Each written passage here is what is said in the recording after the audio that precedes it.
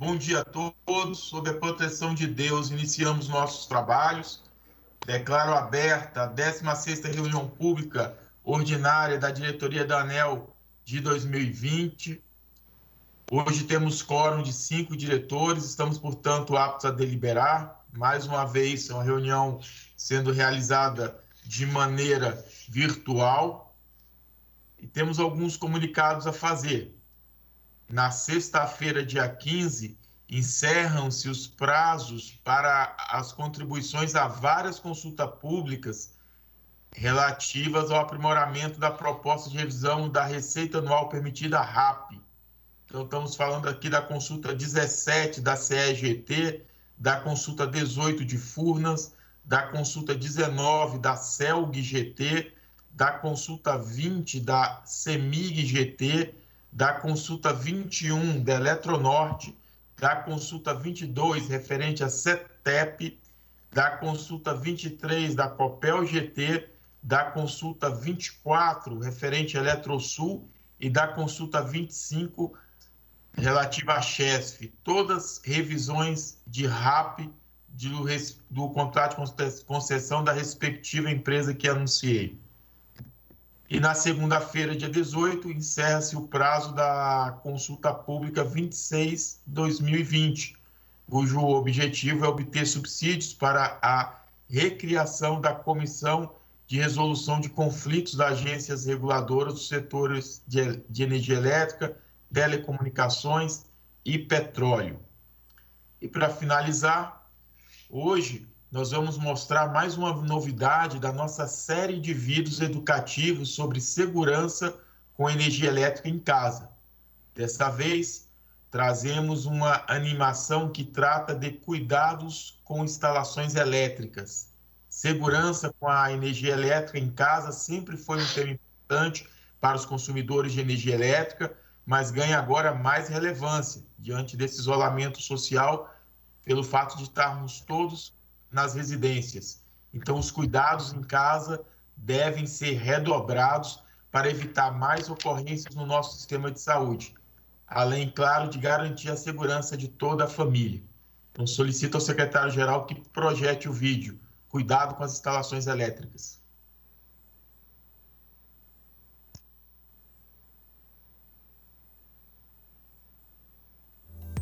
Vai construir ou reformar um imóvel? Dedique atenção especial ao projeto de instalação elétrica. A falta de um bom projeto elétrico pode trazer perigos à sua família.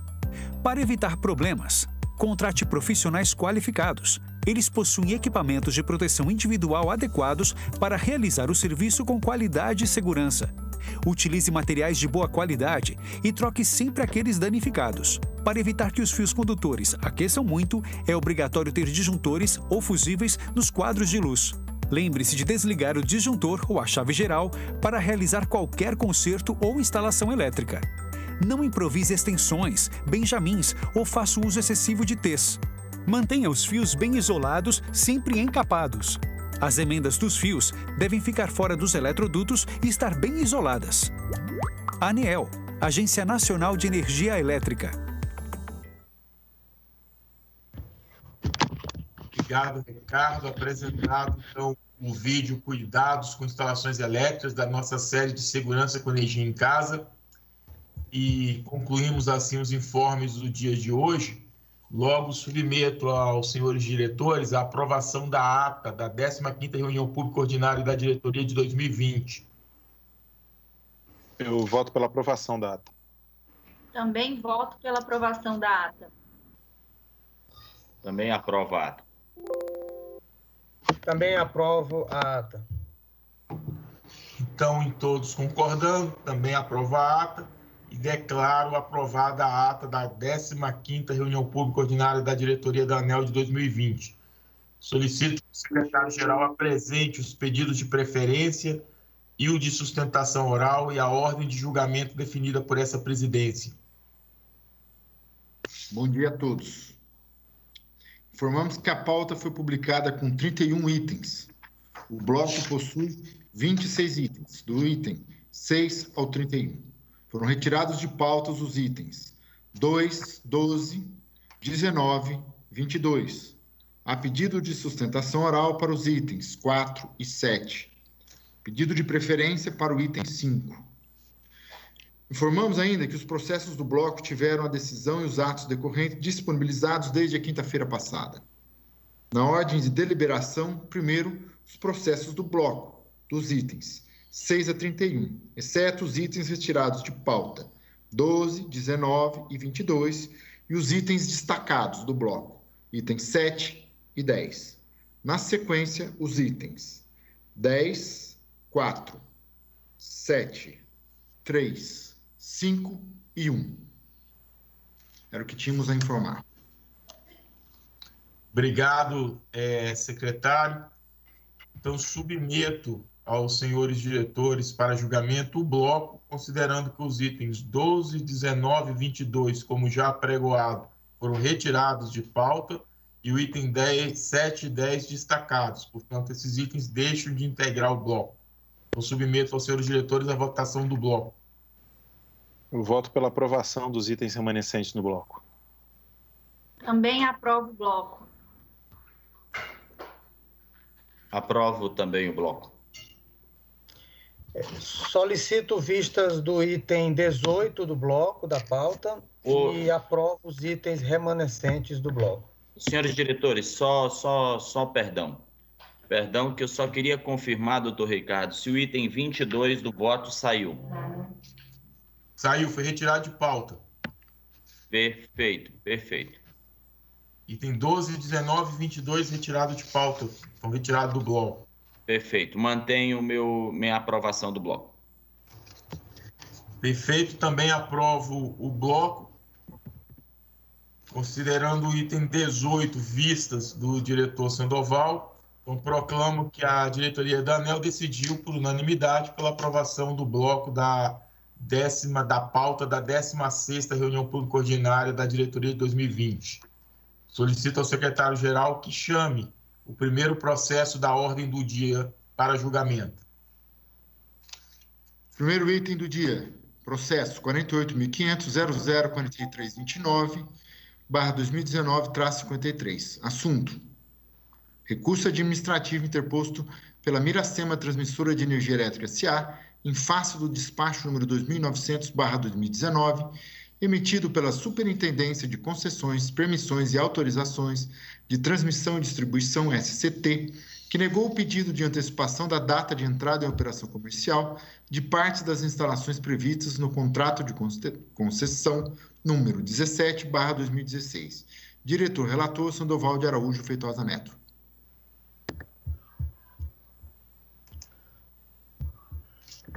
Momento, por favor.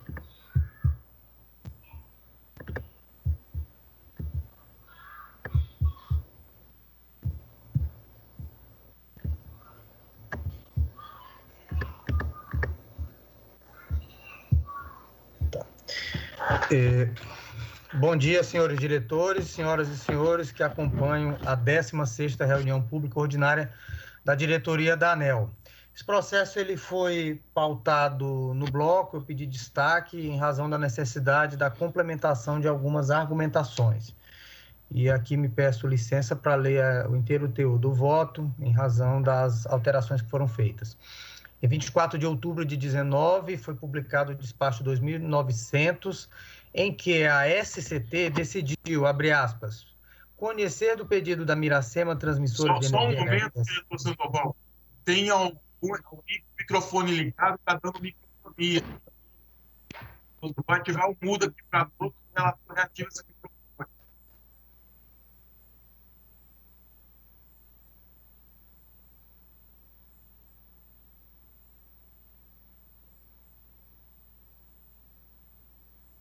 Continua aqui com o microfone.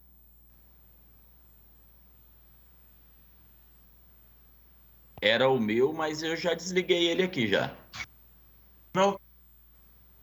Tá todos os microfones ligados e continua acontecendo isso. Peço ao pessoal da informática para que veja o que está ocorrendo. Agora sim. Doutor Sandoval, restabelecer a palavra. Seu microfone está desligado, Sandoval. Bem, obrigado. É, como eu tinha dito, esse processo estava no bloco. Eu solicitei destaque em função da necessidade de alguns ajustes e peço licença aqui para fazer a leitura do inteiro teor para a perfeita compreensão da proposta de voto. Em 24 de outubro de 19 foi publicado o espaço 2900 em que a Superintendência de Concessões, Permissões e Autorizações dos Serviços de Transmissão e Distribuição, SCT, decidiu, primeiro, conhecer do pedido da Iracema, Miracema Transmissora de Energia Elétrica SA, com vistas à antecipação da data de entrada em operação comercial de parte das instalações previstas no contrato 17 de 2016. E no mérito, negar provimento. 2. Determinar que a concessionária fica obrigada a atender aos requisitos e prazos estabelecidos no contrato de concessão 17 de 2016, especificamente no que tange ao atendimento da região de Palmas.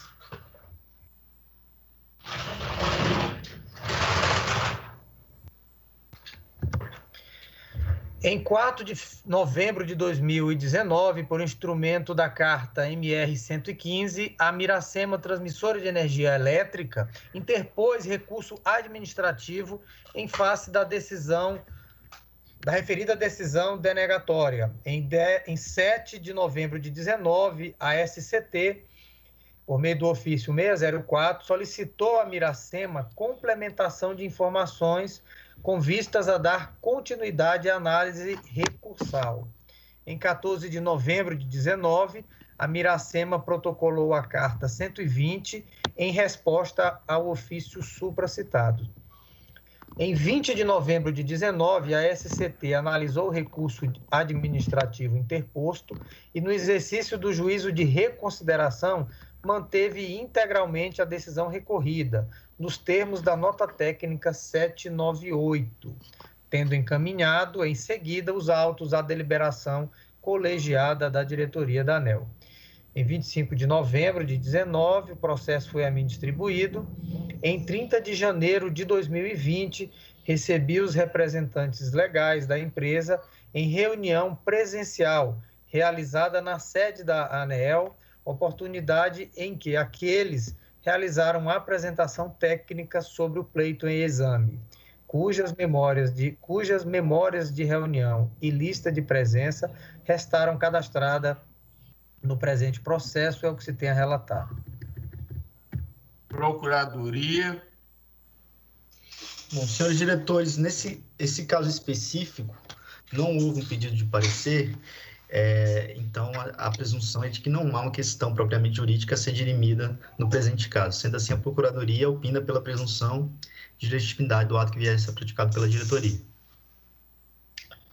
É, o processo analisa, objetiva, analisar o recurso administrativo interposto pela Miracema em face do despacho 2900 de 2019, que negou o pedido de antecipação de entrada da entrada em operação comercial de parte das instalações do contrato de concessão 17 de 2016. Encaminho o voto no sentido de conhecer e, no mérito, negar provimento ao recurso administrativo interposto pela Miracema, em face do despacho supracitado, mantendo-se integralmente a decisão recorrida pelas razões que passarei a apresentar.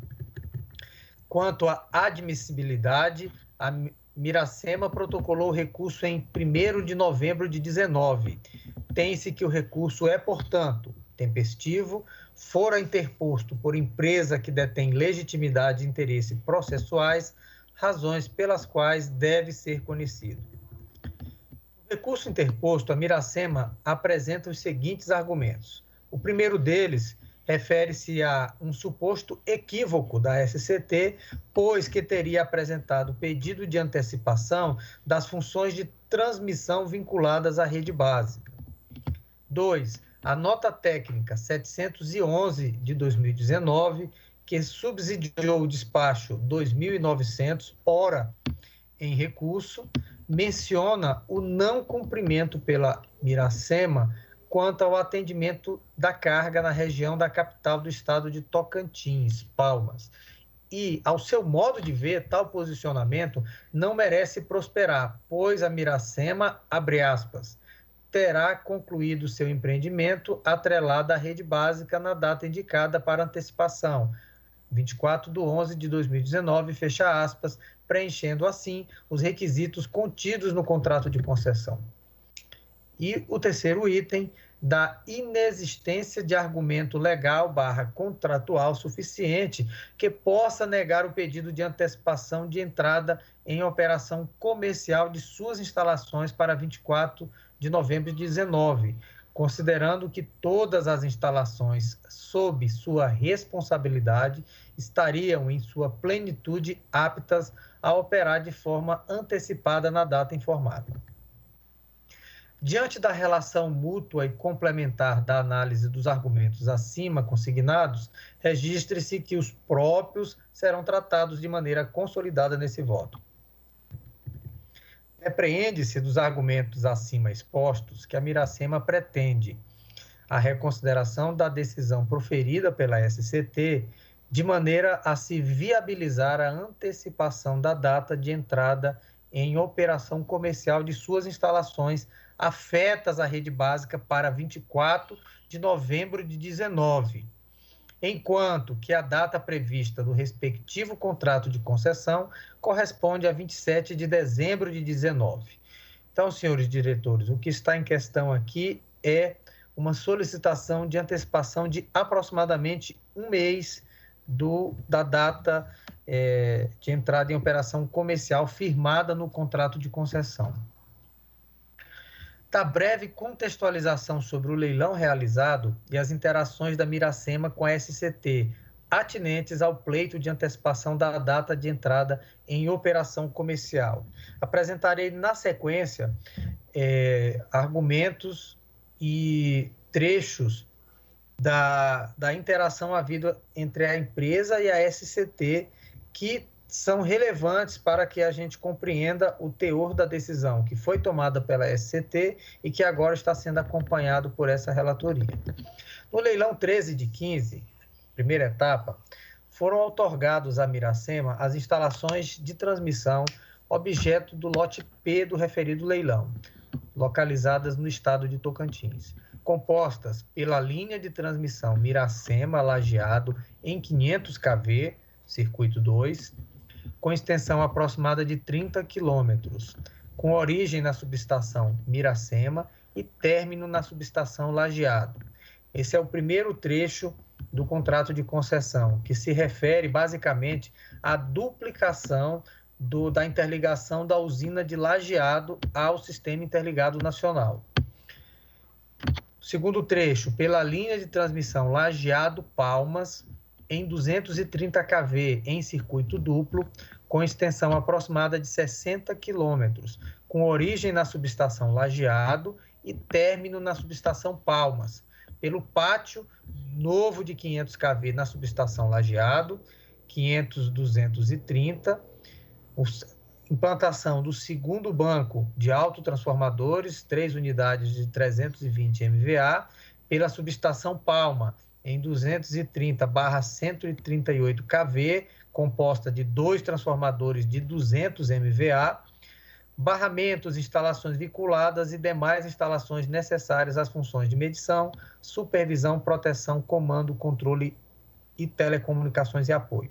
Então, apenas para ficar claro, nós temos um segmento, um setor em 500 kV, composto pela linha de transmissão que interliga a usina de Lajeado à subestação de Miracema e uma interligação em circuito duplo a partir da subestação de Lajeado para a subestação de Palmas, é, além de instalações acessórias. Igualmente, faz parte do referido edital a transferência sem ônus pela geradora Investico SA a Miracema, em momento previamente determinado pelo contrato, da linha de transmissão em 500 kV Miracema, Lajeado Circuito 1, como também a subestação Lajeado, três unidades é, de autotransformadores compostas aqui por de um total de potência de 320 MVA, além das entradas de linha em 500 kV, na subestação Miracema e na subestação Lajeado, ficando a Miracema Transmissora responsável pela operação e manutenção das instalações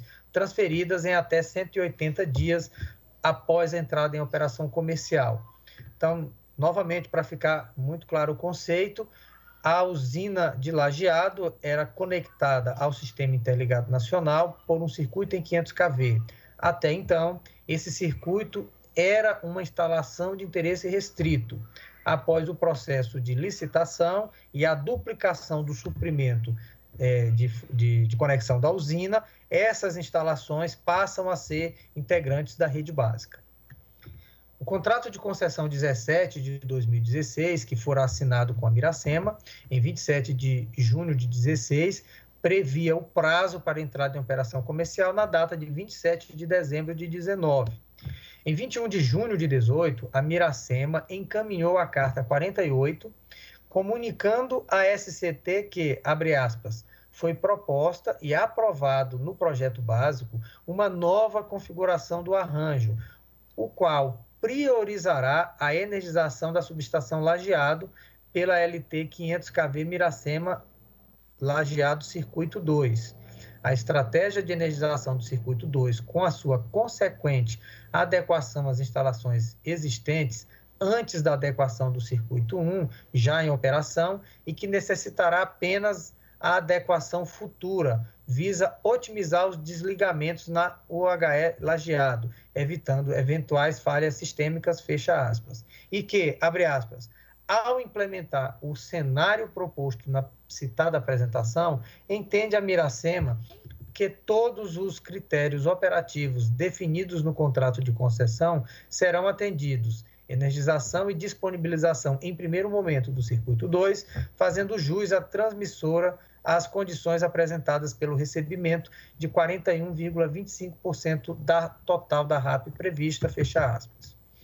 Em resposta, em 6 de agosto de 2018, foi encaminhado o ofício 454, comunicando que a décima subcláusula da cláusula sexta do contrato de concessão 17 estabelece que, abre aspas, na entrada em operação de parte das instalações de transmissão, independente das demais, a transmissora terá o direito à parcela de 41,25% da RAP, desde que opere também a LT 500 kV Miracema Lajeado Circuito 1 existente e a nova LT 230 kV Lajeado Circuito Duplo, não apenas o circuito 2 da LT 500 kV Miracema Lajeado. Então, aqui o que ocorreu foi, é, o contrato de concessão previa claramente que a antecipação era prevista, desde que a empresa concluísse o, o, as instalações de 230 kV e também é, é, fizesse a adequação do circuito 1. A empresa pediu inverter essa sequência, ou seja, em vez de fazer o setor de 230 kV, a empresa duplicou o suprimento, a conexão da usina com o sistema interligado e, no entendimento dela, faria jus à antecipação. Ocorre que não estava assim previsto no, no contrato e a própria SCT, quando foi informada que haveria uma mudança no contrato, ela se manifestou contrária àquela alteração. Em 7 de agosto de 19, a Miracema protocolou a carta 79, 77, em que novamente fez, abre aspas, consulta acerca de confirmação do entendimento por parte da ANEL, no que diz respeito à Miracema, fazer jus ao recebimento de 90% da RAP, atrelada à estratégia de energização do circuito 2, de modo precedente à adequação do circuito 1, visando otimizar os desligamentos da UHL lajeado, fecha aspas. Em resposta materializada no ofício 472, a SCT reiterou que a décima subcláusula da cláusula sexta do contrato de concessão condicionou a percepção de 41,25% da RAP à entrada em operação comercial da LT Miracema Lajeado Circuito 1 e a construção do circuito duplo em 230 kV da linha Lajeado Palmas, em momento ex ante, uma vez que, abre aspas, não faria sentido, do ponto de vista do planejamento da referida expansão, a entrada em operação apenas das instalações de 500 kV, sem o devido escoamento pelas instalações de 230 kV Lajeado Palmas, que levariam energia elétrica até a capital Palmas. Em 28 de agosto de 19, a Miracema protocolou a carta 80 de 19, pleiteando a SCT, abre aspas, a antecipação da data de entrada em operação comercial de parte do seu empreendimento para 24 de novembro de 2019. Em 3 de setembro de 19, a SCT encaminhou o ofício 498 acerca do pleito para conhecimento e manifestação do MME. Em 27 de setembro de 19, o MME encaminhou resposta à SCT por meio do ofício 156, no sentido de que, abre aspas, não identifica óbice ao pleito proposto pela Miracema, desde que sejam atendidas todas as condições estabelecidas no contrato de concessão e resoluções normativas sobre gestão da ANEL. Da manutenção da decisão recorrida no despacho 2900.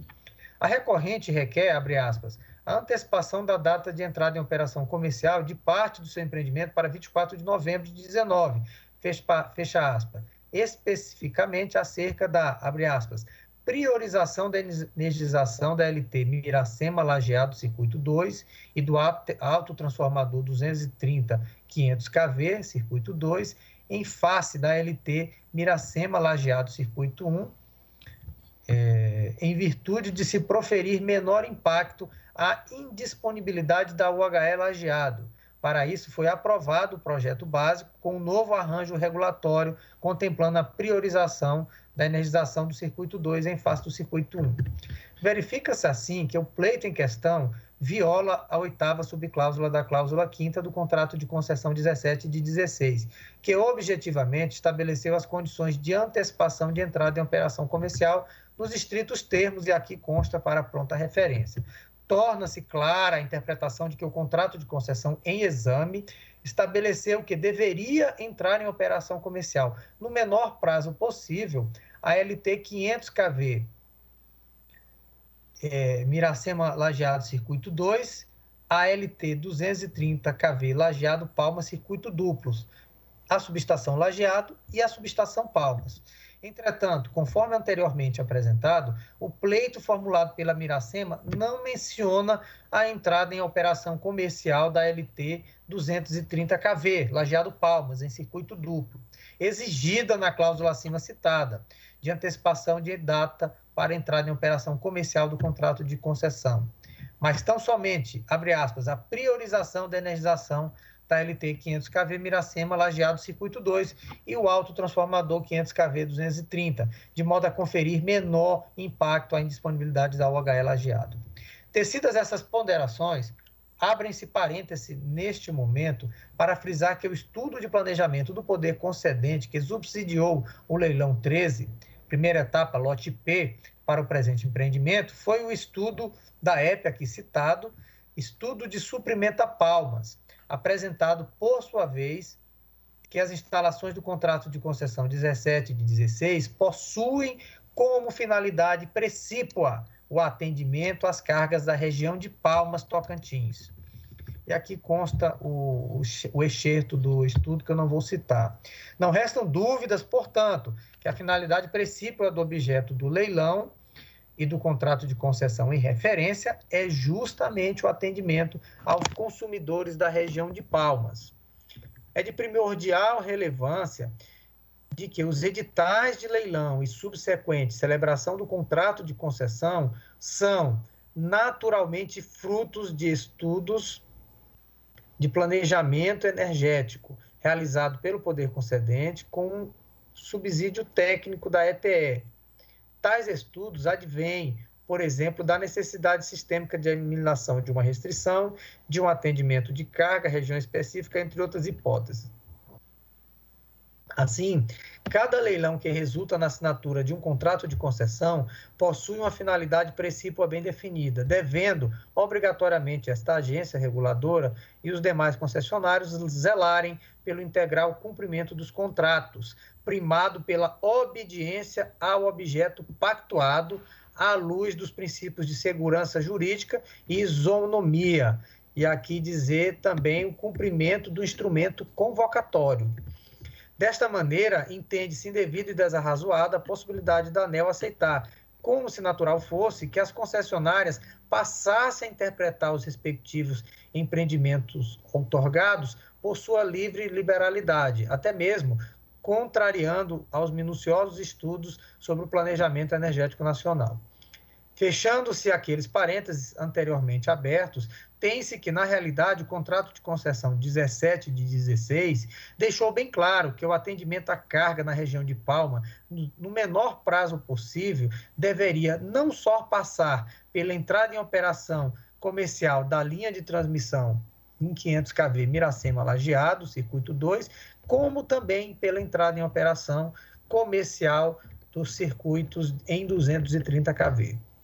Do exposto e endossando integralmente a posição firmada pela SCT na origem, tem-se que a antecipação de entrada em operação comercial da forma como a Miracema requer, ou seja, atendendo apenas ao gerador da UHE lajeado e também, claro, a, ao Sistema Interligado Nacional, na medida que aumenta a confiabilidade de escoamento da energia gerada por aquela usina.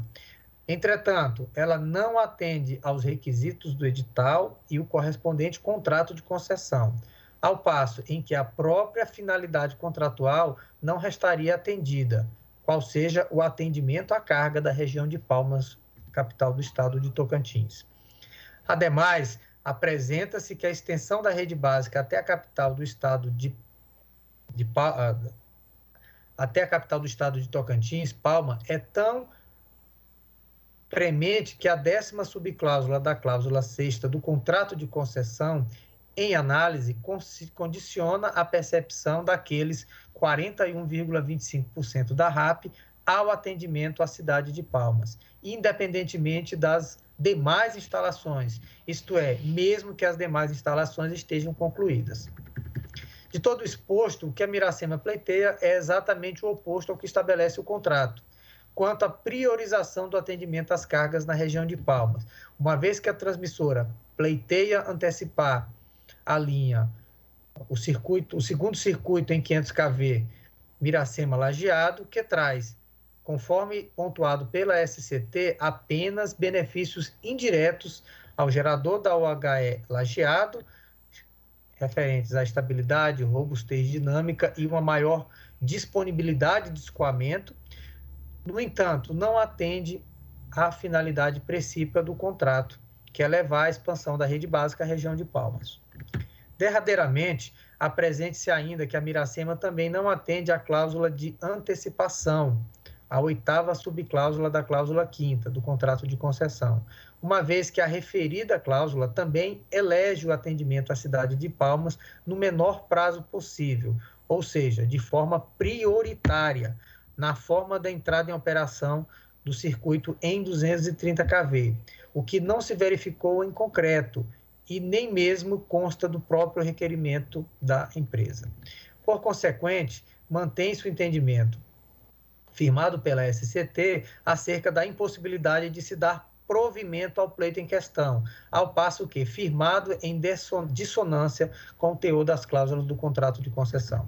Feita a devida contextualização fático-jurídica e rigorosamente firmado o entendimento acerca da impossibilidade jurídica e regulatória do pleito em tela, registre-se a negativa do pleito da Miracema por razão diversa e complementar de análise. De início, apresenta-se que a oitava subcláusula da cláusula quinta do contrato de concessão estabelece que, em negrito, para os casos que envolvam solicitação de acesso, a antecipação da entrada em operação comercial das instalações deverá ser compatibilizada com o cronograma das obras do acessante.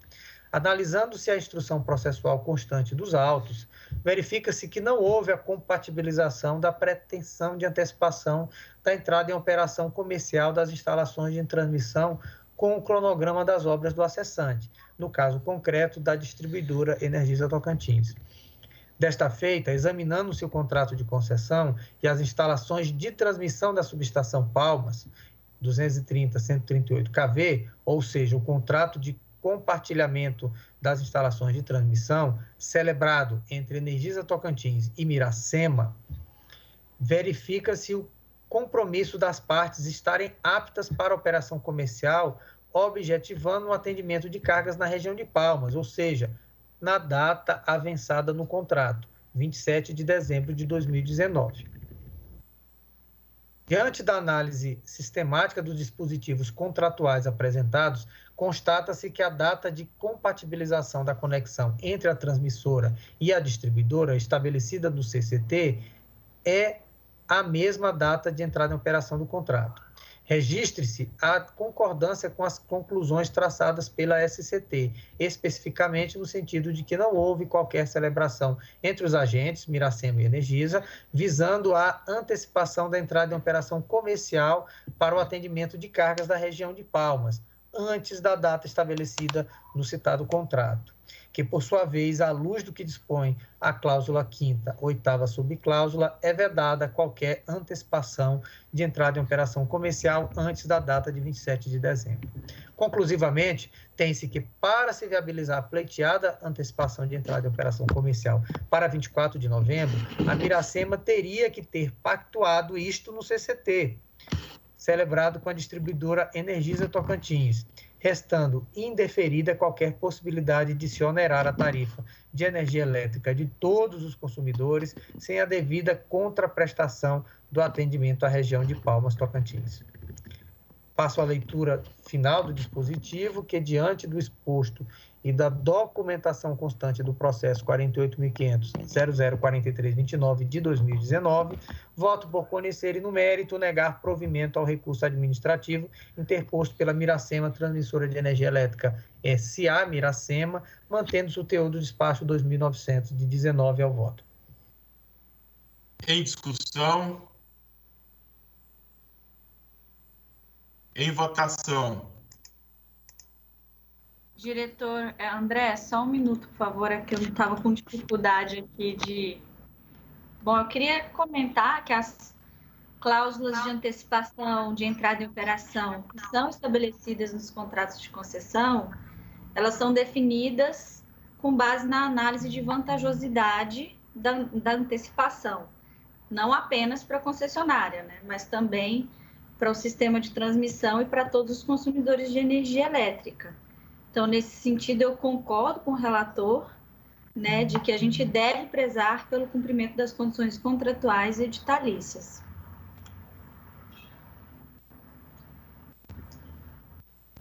Ok, feito o registro da diretora Elisa, em votação.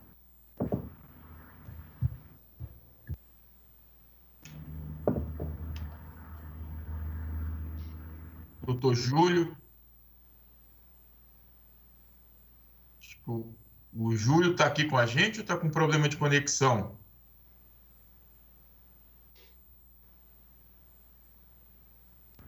O diretor Júlio deve estar tá, tá com problema de conexão. Ele está conectado, senhor diretor-geral. Vamos dar sequência, doutora Elisa. Acompanho o relator. Eu também acompanho o voto do diretor relator, doutor Sandoval.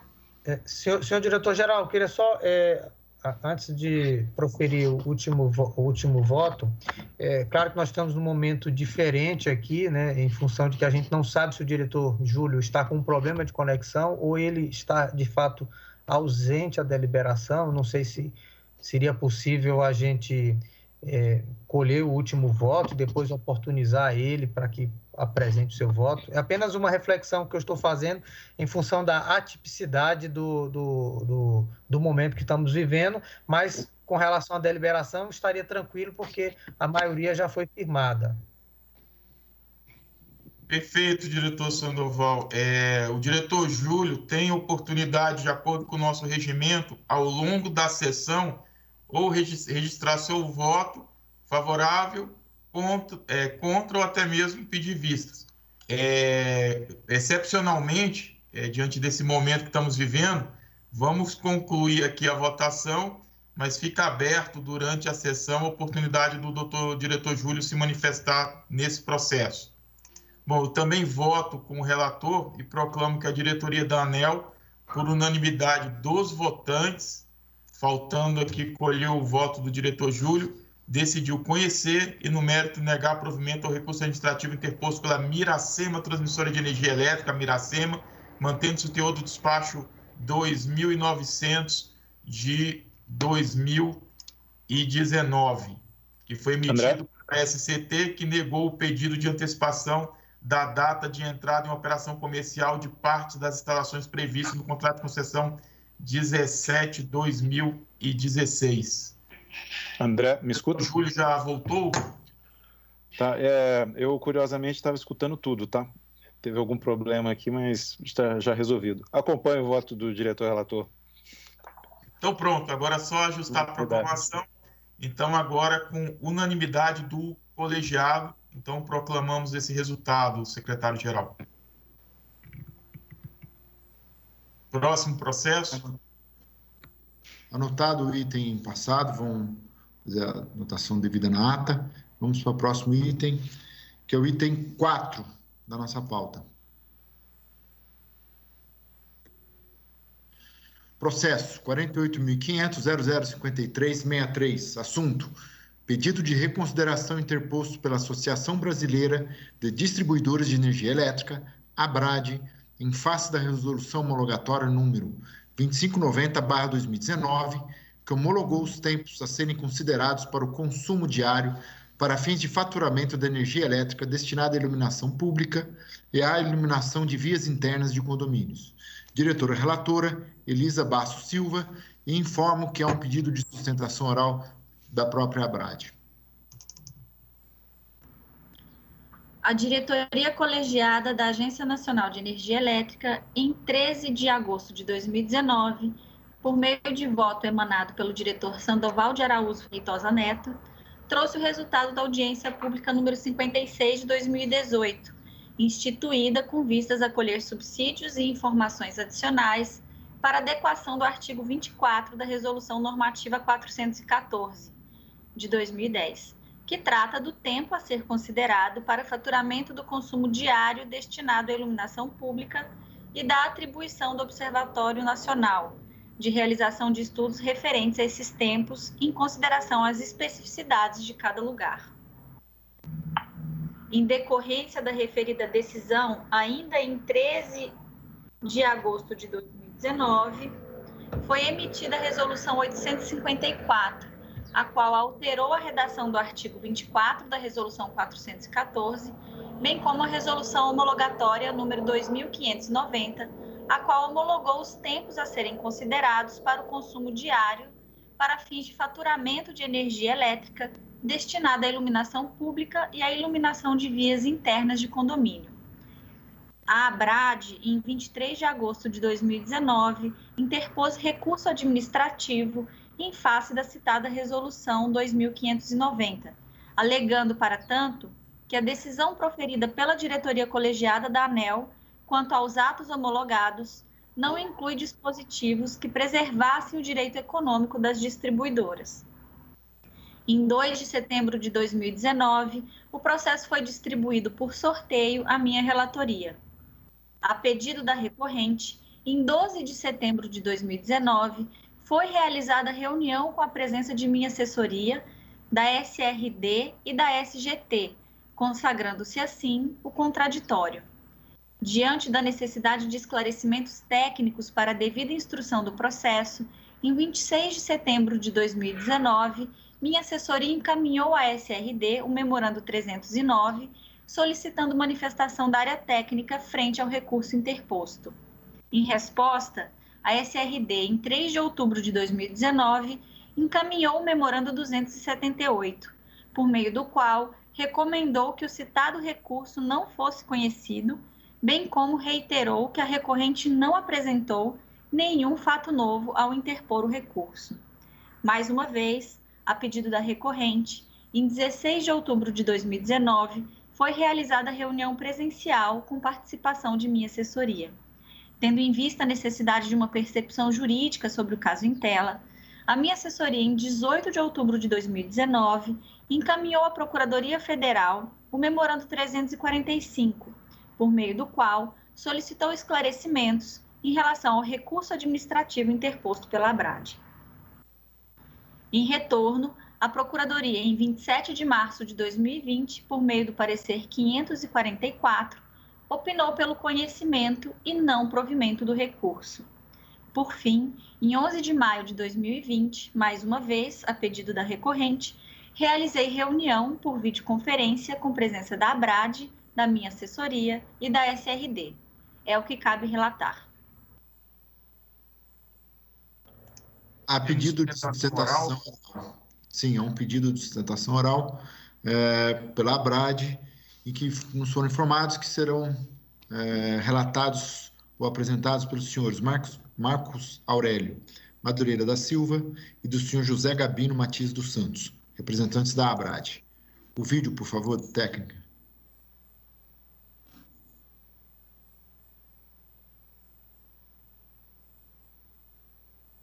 agradecendo a oportunidade da diretoria de apresentarmos aqui as nossas considerações sobre o nosso pedido de reconsideração, gostaríamos de destacar que este é um assunto que vem sendo discutido já há bastante tempo. Já tivemos a oportunidade de discutir com as áreas técnicas, com o diretor relator, mas é uma questão que ainda preocupa sobremaneira as distribuidoras. E se já preocupava antes, agora mais ainda, por todo o momento que estamos vivendo aí com as consequências dessa pandemia. Um ponto a se destacar aqui, em primeiro lugar, é o reconhecimento por parte da Procuradoria Federal de que alterações normativas em parâmetros de faturamento não pode ser tratado como um risco ordinário de mercado, que é um ponto que para nós está bastante claro e fizemos questão de destacar no nosso pleito. Nos parágrafo 64, a Procuradoria destaca que, embora possa haver algum sentido na proposta de os efeitos da alteração normativa ocorram por meio da concatenação com os processos de revisão tarifária ou da própria estrutura tarifária, que por sua vez visa a alocação mais adequada dos custos eficientes da atividade de distribuição entre os diversos segmentos de consumo, essa questão estaria afeta à discricionariedade técnica da agência. Importa, na verdade, que as cláusulas econômicas financeiras do contrato sejam cumpridas. E no parágrafo seguinte, 65, é destacado que, no caso, há um fato da administração, que, embora lícito, isso não se discute, pode ter repercutido economicamente no contrato. Este fato, a nosso ver, não estaria inserido no risco ordinário da distribuidora.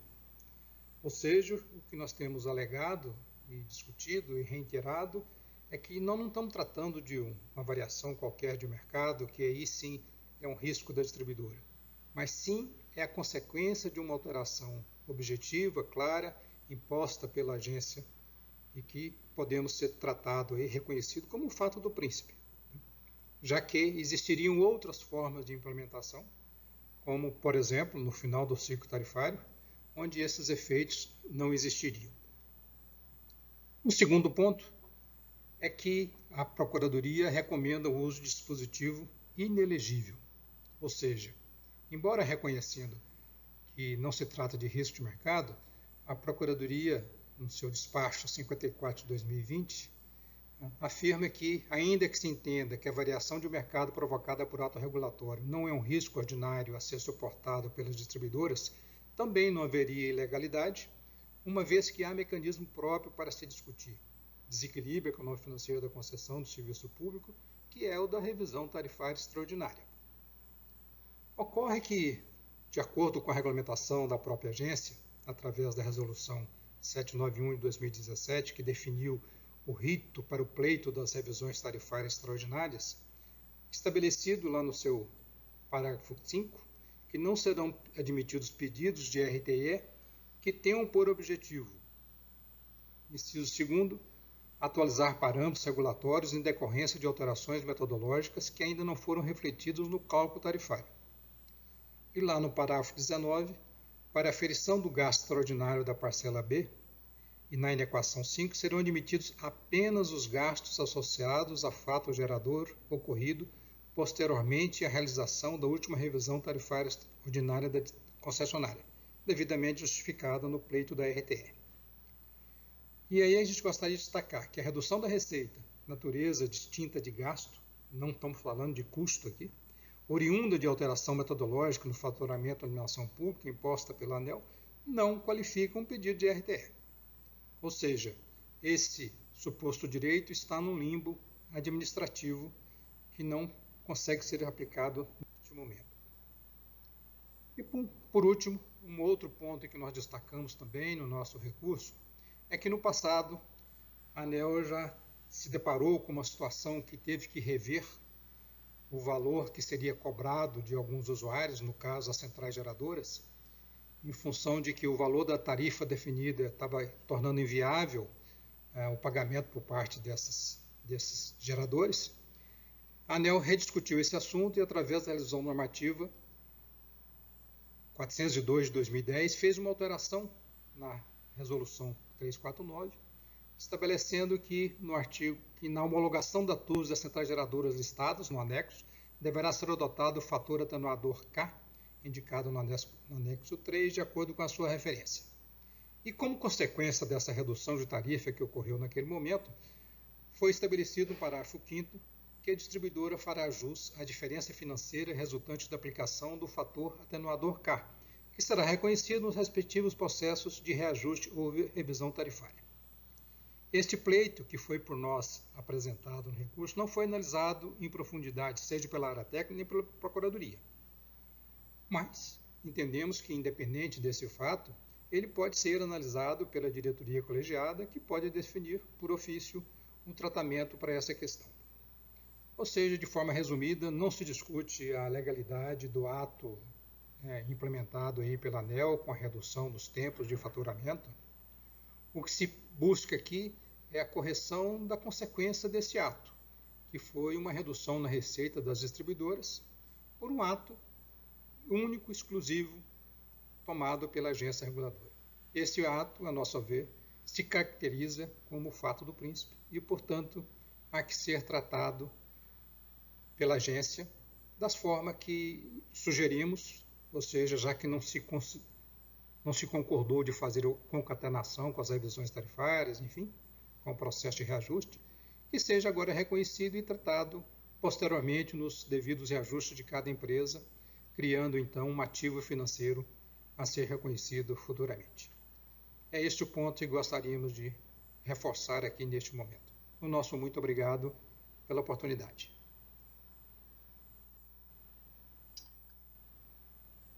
Procuradoria. Bom, senhores diretores, é, como já destacado no relatório, esse, esse processo ele foi analisado por meio do parecer 544 de 2019 e que foi aprovado parcialmente na sua fundamentação e conclusão pelo, pelo despacho 54 de 2020. Basicamente, o que, as, as questões que foram submetidas à, à, à Procuradoria pela diretora relatora foram duas. A primeira, em relação à admissibilidade do recurso, tendo em vista que aparentemente se estava atacando um ato de natureza normativa, né, que não, é, segundo a norma de organização da ANEL, não é admissível um recurso dessa natureza. E o segundo ponto, relativo ao mérito em si, sobre a pretensão manifestada pela ABRAD.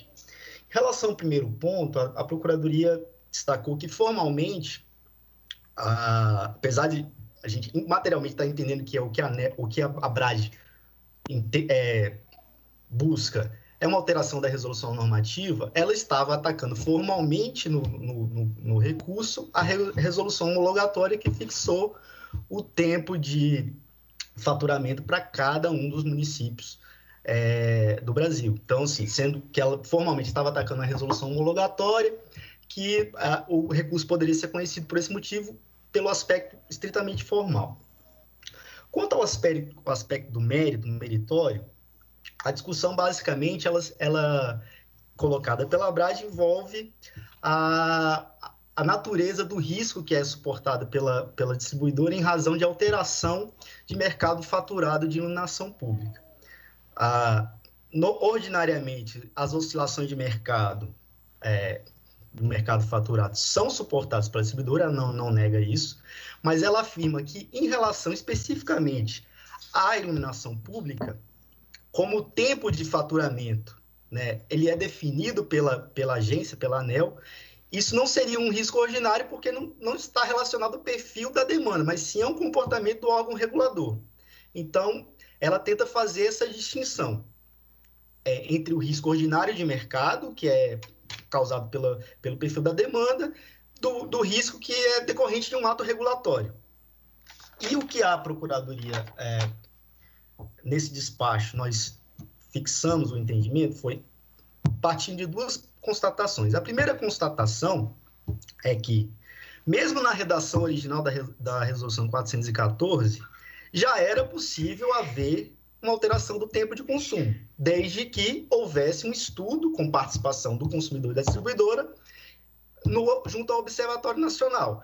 Então, o fato de alterar o tempo de consumo, ele já existia na, na, na, na regulação e sem nenhuma vinculação à data de revisão tarifária periódica da distribuidora. Então, a gente não pode dizer que propriamente foi a resolução 854 que, que alterou o, a, a, a, regulação. A regulação ela já permitia a alteração do, do tempo de, de, consumo. O que a, resolução 854 fez foi inverter a lógica. A ANEL fixa esse, esse, esse, esse tempo né, é, por, por município com base em um estudo que foi, que foi realizado.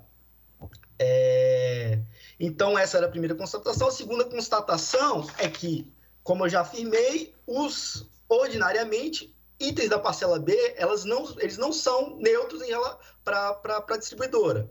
Então, é, em relação à parcela A, que a gente tem uma, uma, uma disposição contratual regulatória que garante neutralidade, então qualquer variação da parcela A, é, economicamente, a, a, a distribuidora ela não sofre impacto, para os itens da parcela B, isso não é verdade. Então, a afirmação assim, de que é, para um item da parcela B eu teria neutralidade, teria direito a um ativo regular, a um ativo financeiro, isso a Procuradoria julgou que não era verdade, porque normalmente não se faz isso para itens da parcela B, como é o caso aqui. Agora, realmente há uma particularidade. A particularidade é que é, a variação de receita, a frustração de receita foi em decorrência de um ato de natureza regulatória. Aí o que a Procuradoria tá, apontou no seu, no seu parecer é, ok, mas uma frustração de receita não significa necessariamente que eu vou ter um desequilíbrio econômico-financeiro, porque o mercado da, da, distribuidora ele é um elemento dinâmico na, na, quando você vai fixar a tarifa. Então você tira um retrato para fixar a tarifa, mas já se sabe que aquele retrato não vai refletir exatamente o filme que vai, que vai ocorrer dali para frente, porque é, pode ter variação de frustração de receita em uma, em uma classe de consumo e isso pode ser compensado por uma superação de expectativa de receita em relação a outros. Então, o que a Procuradoria afirmou é, ok, há uma questão de desequilíbrio? Potencialmente pode haver, mas isso tem que ser discutido de uma forma global. Eu não posso ficar a, analisando só uma tirinha e falar assim, ó, isso aqui relação à iluminação pública está prejudicando a distribuidora. Então tem que reconhecer. Ok. Se, tem, se aqui houve uma frustração de receita, eu vou comparar todo, todas as receitas que, a, que, a, que foram estimadas lá atrás e vou ver se realmente há um desequilíbrio. Aí a, ele, o que foi colocado aqui foi algo que foi posterior ao parecer, essa questão do ProRed. Mas, assim, a gente tem que analisar também que, mesmo que a gente interprete que isso é uma mudança de parâmetro regulatório que não permite a RTE, o desequilíbrio é um, é um fato. Então, mesmo aquilo que a gente fala que é, ordinariamente que não causa desequilíbrio, por exemplo, oscilação de mercado. Quando a gente tem, por exemplo, uma pandemia, como é o caso agora, será que a gente vai ter, repetir? Não estou nem dizendo que é ou não é, mas no mínimo nós teríamos que discutir. Então, assim, o desequilíbrio é um fato que se impõe. Então, é, é algo que assim não está numa fórmula pré-estabelecida se nós se tem é, se nós vamos ou não vamos reconhecer o desequilíbrio ele vai ele tem que ser discutido de alguma forma então o que a procuradoria disse, disse é isso pode ser discutido num processo próprio não necessariamente tem que vir aqui a ANEL poderia até colocar numa resolução homologatória, na resolução normativa, que iria dar essa neutralidade para a distribuidora. Ela poderia fazer esse juízo, mas ela pode também optar por discutir caso a caso é uma competência discricionária da agência. Por isso que a, a, a, Procuradoria entendeu que não há, no mérito, ilegalidade de não se reconhecer esse item em um dispositivo específico, tanto da resolução homologatória quanto da resolução normativa.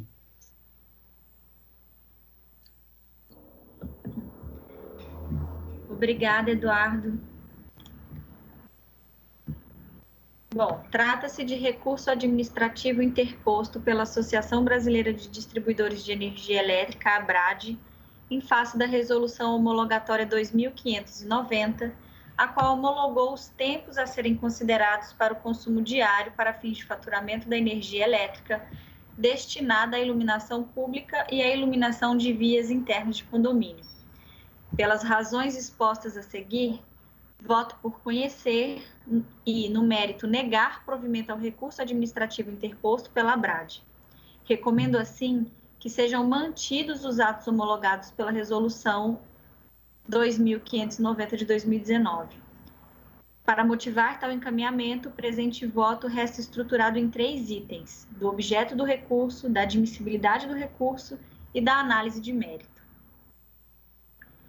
O recurso administrativo interposto pela ABRAD recai sob decisão da diretoria colegiada da ANEL, proferida na 29ª reunião pública ordinária, no dia 13 de agosto de 2019, pela qual se determinou a alteração do artigo 24 da Resolução 414, por meio da aprovação e emissão da Resolução Normativa 854, aprovação da emissão da Resolução 2590, a qual indica a definição dos tempos de iluminação pública de cada município e estabelece o prazo de 30 dias para alteração dos faturamentos subsequentes, e a alteração da Portaria 4845, que acrescenta a SRD delegação para praticar os atos administrativos necessários à operacionalização do faturamento destinado à iluminação pública ou à iluminação de vias internas de condomínio, conforme os procedimentos e critérios estabelecidos na legislação vigente. Entendo, portanto, que pela citada decisão foram editadas uma portaria e duas resoluções, dentre as quais destaco a Resolução 854, a Resolução 2590, que homologou os tempos a serem considerados pelo consumo diário para fins de faturamento de energia elétrica, e ambas com a vigência a partir de sua data de publicação, que é 13 de agosto de 2019. Vale ressaltar que os atos administrativos exarados a partir dessa decisão da diretoria colegiada foram resultantes de procedimento aberto para adequação do artigo 24 da Resolução 414, no bojo do qual foi instaurada a audiência pública 56, para que, nos termos do artigo 4, parágrafo 3 da Lei 9427, houvesse contribuição dos agentes afetados pela nova proposta normativa. Ao longo da referida AP 56, a ABRAD apresentou suas contribuições, as quais foram devidamente analisadas pela, por meio da nota técnica 23, emitida em 16 de abril de 2019. A partir do momento em que a diretoria colegiada da ANEL, por meio de decisão, determinou a adequação normativa pretendida no âmbito da AP 56, a ABRAD interpôs o presente recurso administrativo, por meio do qual reiterou que a referida alteração do artigo 24 da Resolução 414 e a consequente edição da Resolução Homologatória 2590 produz impacto negativo na receita das distribuidoras. Como argumentação principal, a ABRAD afirma em termos sucintos que, embora a nova redação normativa venha possibilitar uma alocação mais adequada dos custos eficientes da atividade de distribuição entre os diversos segmentos de consumo, a ANEL estaria a promover uma intervenção administrativa no domínio econômico da atividade concedida, o que configuraria, assim, uma afronta aos princípios da segurança jurídica, da confiança legítima e da razoabilidade. Para evitar os efeitos que considera deletérios na receita das distribuidoras, a recorrente requer adicionar na Resolução Homologatória 2590 dispositivo que autorize a constituição de ativo regulatório às distribuidoras para contabilizar o impacto econômico e financeiro a partir dos efeitos da própria resolução até a reparação integral do equilíbrio econômico-financeiro nos processos revisionais subsequentes, ocasiões em que o ativo será considerado elegível nos itens, ao item oitavo, oito das demais componentes financeiras, e determinar a retificação dos percentuais de perda de energia considerados nos processos de reajuste tarifário das distribuidoras objetivando neutralizar os efeitos da alteração da Resolução 2590 nos mercados faturados até o próximo processo revisional das tarifas. Feitos tais esclarecimentos frente ao objeto do recurso administrativo interposto, passo à análise quanto à admissibilidade do presente recurso. A norma de organização ANEL número 1, revisitada pela Resolução 273, dispõe sobre os procedimentos para o funcionamento, a ordem dos trabalhos e os processos decisórios da ANEL nas matérias relativas à regulação e à fiscalização dos serviços e instalações de energia elétrica. O artigo 43 da referida norma elenca as hipóteses em que o recurso interposto não será conhecido.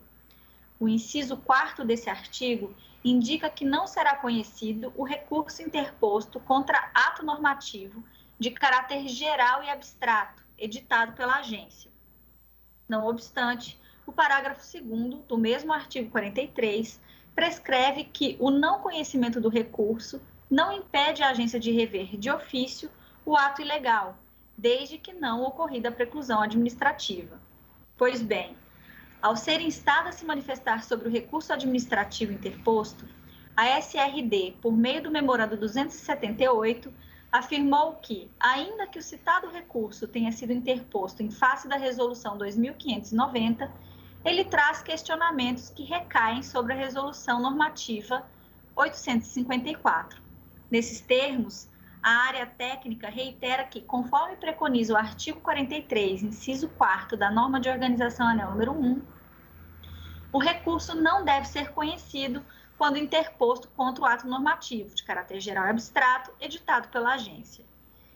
Insta frisar que a própria ABRAD, ao interpor o recurso administrativo em tela, afirmou que, ainda que o pedido fosse enquadrado no inciso 4 do artigo 43 da norma, o processo deveria ter o seu mérito analisado à luz do parágrafo 2 do mesmo artigo. Diante de tal questionamento jurídico quanto à admissibilidade do recurso administrativo interposto, minha assessoria, por meio do memorando 345, solicitou manifestação da Procuradoria Federal, particularmente ao seguinte quesito. À luz do inciso 4 do, artigo 43 da norma 1, cabe a esta agência reconhecer o recurso administrativo interposto pela BRAD? Em resposta, a Procuradoria Federal, junto à ANEL, se manifestou por meio do parecer 544 e opinou pelo conhecimento do presente recurso. Segundo a percepção da Procuradoria, o recurso administrativo em tela foi interposto com a intenção de acrescentar dispositivo à Resolução Homologatória 2590, a qual homologou o tempo a ser considerado para faturamento do consumo diário do serviço de iluminação pública nos municípios brasileiros. Ainda que a pretensão da recorrente não seja possível de ser acatada em ato de tal natureza, e esse aspecto será devidamente abordado na análise do mérito da questão, não há que se falar, ao menos no plano formal, que a ABRAD esteja atacando o ato normativo de caráter geral e abstrato, de modo a atrair a incidência do artigo 43, inciso 4 da Resolução 273. Isso porque o objetivo da peça processual protocolada pela recorrente é blindar as distribuidoras dos efeitos financeiros deletérios que a Resolução 854 supostamente acarreta, de forma concreta, para os agentes de distribuição representados pela ABRAD. Nesses termos, e até em prestígio ao princípio da revisibilidade das decisões administrativas, não vejo óbice para que essa agência analise as questões apresentadas pela recorrente, sempre tendo em vista que o não conhecimento do recurso não impede que a administração exerça seu poder de autotutela para sanar eventuais ilegalidades apontadas na peça recursal, conforme previsto pelo parágrafo 2 do artigo 43 da Resolução 273. Pelo exposto, tendo em vista a manifestação da Procuradoria Federal junto ao ANEL, compreendo que o recurso administrativo interposto pela ABRAD deva ser conhecido por esta agência. Apresentadas essas considerações em relação à admissibilidade do recurso, passo agora a discorrer sobre o mérito da, da questão.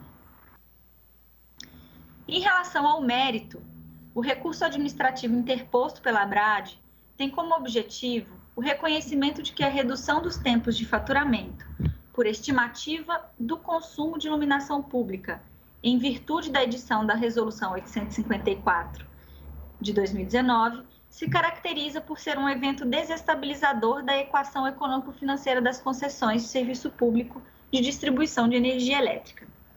Ao se manifestar por meio do memorando 278, a SRD reiterou que a Abrad, ao interpor o recurso, não apresentou nenhum fato novo ou justificativa técnica que motivasse a reformulação da decisão que resultou na publicação da Resolução 854 e da Resolução Homologatória 2590.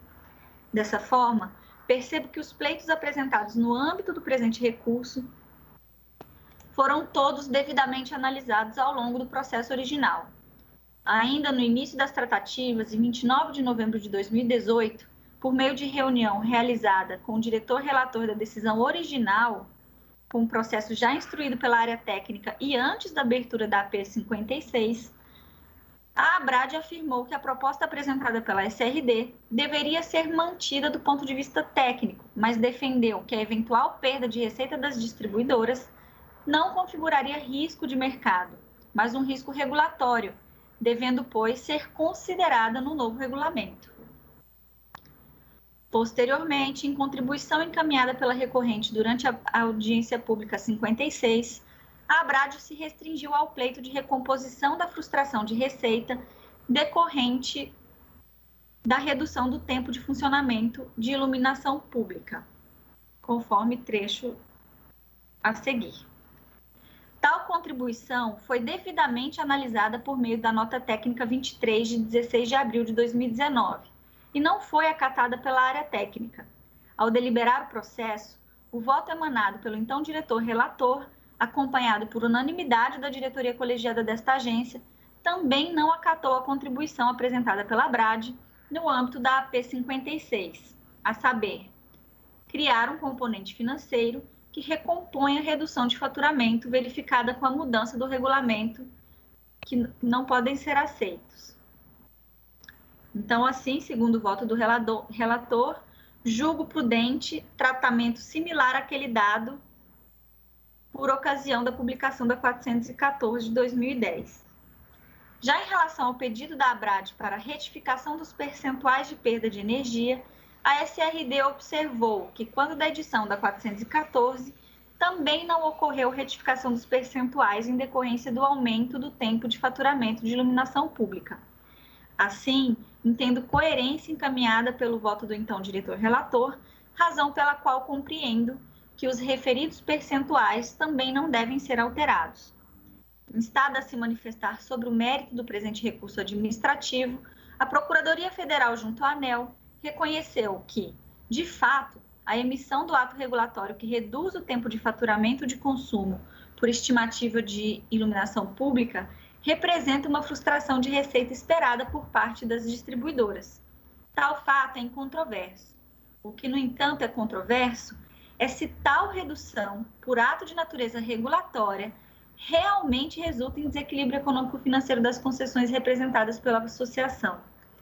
Vale ressaltar que o mercado de uma distribuidora de energia elétrica é, em essência, dinâmico, conforme mencionado pelo procurador Eduardo, podendo dessa forma apresentar tanto variações positivas quanto negativas ao longo do tempo. No processo de revisão tarifária, o cálculo da tarifa parte de uma realidade estática, qual seja o mercado de referência, o qual, segundo o módulo 2.1 do PRORET, compreende os montantes de energia elétrica, de demanda de potência e de uso do sistema de distribuição, faturados no período de referência a outras permissionárias de distribuição, consumidores, autoprodutores e centrais geradoras que façam uso do mesmo ponto de conexão para importar ou injetar energia elétrica, bem como pelos montantes de demanda de potência contratada pelos demais geradores para uso de sistema de distribuição. A simples circunstância de se utilizar um retrato do mercado da distribuidora em determinado intervalo de tempo para fixar a tarifa já consolida a ideia de que é praticamente impossível garantir que a receita verificada será igual à estimada no processo tarifário, uma vez que, para tanto, é preciso que o mercado real da distribuidora se comporte exatamente como vislumbrado no processo tarifário, o que, convenha-se, tem chances remotas de acontecer. Parte-se, portanto, da premissa de que o comportamento do mercado ao longo do ciclo tarifário não irá reproduzir fielmente o parâmetro regulatório no mercado de referência utilizado para efeito de cálculo da tarifa.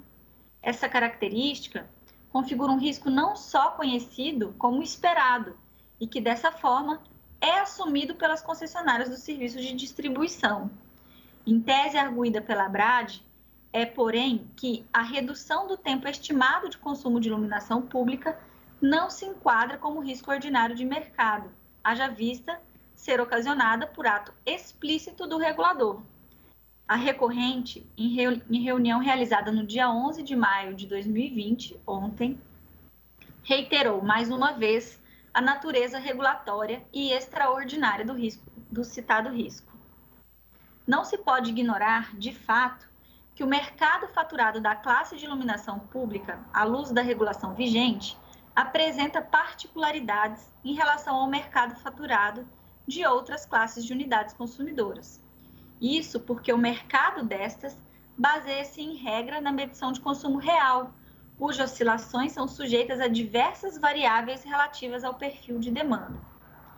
Já o faturamento de iluminação pública, ao menos no que tange ao tempo de consumo, é baseado em estimativa definida pelo órgão regulador, de modo que não sofre alterações ao longo do tempo, a não ser que o critério mude por conta de alteração do arcabouço regulatório. Temos, assim, o tempo de consumo para fins de faturamento de iluminação pública na regulação vigente independente do real comportamento da demanda. Como a estimativa do tempo de consumo é definida regulatoriamente, tem que, tem, tem-se que o risco regu, é de natureza regulatória. Uma vez estabelecida a natureza do risco, resta, pois, saber se o mesmo deve ser suportado pelas distribuidoras. A primeira constatação é se fazer, a se fazer é que o risco de alteração do tempo de consumo para fins de faturamento de iluminação pública já existia no âmbito da Resolução 414, ou seja, ele não foi propriamente criado pela Resolução 854. Isso porque o artigo 24, parágrafo 1 da Resolução 414, em sua redação original, já previa a possibilidade de o tempo estimado de consumo diário de energia para fins de faturamento de iluminação pública ser diferente, ser diferente de 11 horas e 52 minutos, conforme estabelecido no caput do mesmo dispositivo. Parágrafo 1 do artigo 24, o tempo a ser considerado para consumo diário pode ser diferente do estabelecido no caput, após estudo realizado pelo consumidor e a distribuidora junto ao Observatório Nacional, devidamente aprovado pela ANEL. Nesse contexto, a Resolução 854 apenas inverteu a lógica de fixação do tempo estimado de consumo diário de energia para fins de faturamento de iluminação pública, deixando de lado o critério de tempo fixado uniformemente a priori para todos os municípios, para adotar o critério de tempo definido pela ANEL em ato específico, discretizado por município. Tal alteração no tempo a ser considerado para o consumo diário de iluminação pública ocorreu à luz do citado parágrafo 1, com estudos conduzidos e tendo sido respeitadas todas as etapas do devido processo legal administrativo. Insta frisar, tanto na regulação anterior quanto na atual, havia e há a possibilidade de mudança do tempo estimado de consumo, sem que a operacionalização dessa mudança seja condicionada ou vinculada às datas de revisão periódica da distribuidora. A segunda constatação a ser feita é que não há disposição contratual ou regulatória que garante neutralidade às variações da parcela B da tarifa, tal como ocorre, por exemplo, em relação aos itens da parcela A. Nessa perspectiva, as variações verificadas de itens da parcela B, a exemplo do faturamento por iluminação pública, devem, em regra, ser suportadas pela distribuidora, desde que não sejam, obviamente, significativas a ponto de desequilibrar sobre o aspecto econômico-financeiro a prestação do serviço. Todavia, ainda que se queira fazer a distinção pretendida pela ABRAD entre o risco ordinário de mercado, atrelado ao comportamento da demanda, e o risco extraordinário, decorrente de atos praticados pelo órgão regulador, que supostamente não deveriam ser suportados pela distribuidora, deve-se entender que a revisão tarifária extraordinária é o instrumento regulatório utilizado para reparar eventuais distorções do equilíbrio econômico-financeiro dos contratos de concessão no curso do ciclo tarifário. O tratamento pretendido pela recorrente para a questão, qual seja a constituição de um ativo financeiro a ser carregado até a próxima revisão tarifária ordinária, se afigura pouco ortodoxo, na medida em que se pretende equiparar a variação de mercado decorrente de ato regulatório à variação de item de parcela A da tarifa, sendo que não há neutralidade para a distribuidora quanto às variações dos itens de parcela B. Assim, se por um lado a redução do tempo estimado de consumo diário de energia para fins de faturamento de iluminação pública representa uma frustração de receita, não se pode afirmar, por outro lado, que tal redução causa, de fato, um equilíbrio econômico-financeiro. Para tanto, seria preciso proceder uma minuciosa revisão de todos os parâmetros que são utilizados para fixar a tarifa, tendo em vista que, conforme já afirmado, o mercado das distribuidoras se caracteriza por ser dinâmico, de forma que eventuais frustrações de receitas possam ser compensadas, por exemplo, por um crescimento de mercado superior ao estimado.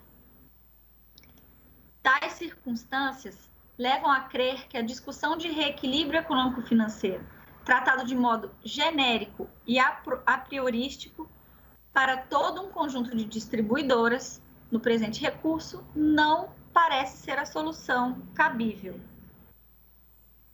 Dessa forma, ressalvada a competência discricionária da ANEL para, eventualmente, conferir neutralidade a ato de sua autoria e que altere parâmetros utilizados no ciclo tarifário, a Procuradoria Federal afirma que o correto é que a repercussão da Resolução 2590 especificamente sobre o equilíbrio econômico-financeiro das concessões de serviço público de distribuição, seja discutido em processo administrativo próprio, a ser instaurado por iniciativa de cada distribuidora que se sentir prejudicada. Em reunião realizada no dia 11 de maio de 2020, a Abrad alegou que a ANEL, ao indicar um processo específico de RTE, seja o caminho mais adequado para o presente pleito,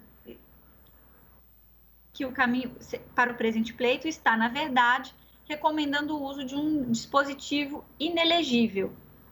Para justificar tal percepção, a ABRAD cita o submódulo 2.9 do PRORET, o qual disciplina o rito da RTE das distribuidoras, conforme feito também pela apresentação realizada pela ABRAD. Ora, a esse despeito, Ora, a despeito das especificidades citadas no submódulo 2.9 do PRORET, cabe a cada distribuidora aguardar o próximo ciclo tarifário e, em pleito devidamente justificado, demonstrar o desequilíbrio econômico-financeiro da sua concessão, ainda que tal desequilíbrio esteja associado ao fato gerador ocorrido posteriormente à realização dessa última revisão tarifária. Caso as distribuidoras não consigam demonstrar o desequilíbrio econômico-financeiro causado especificamente pela alteração da redação do artigo 24 da Resolução 414, a RTE apresentar-se-á de fato inelegível.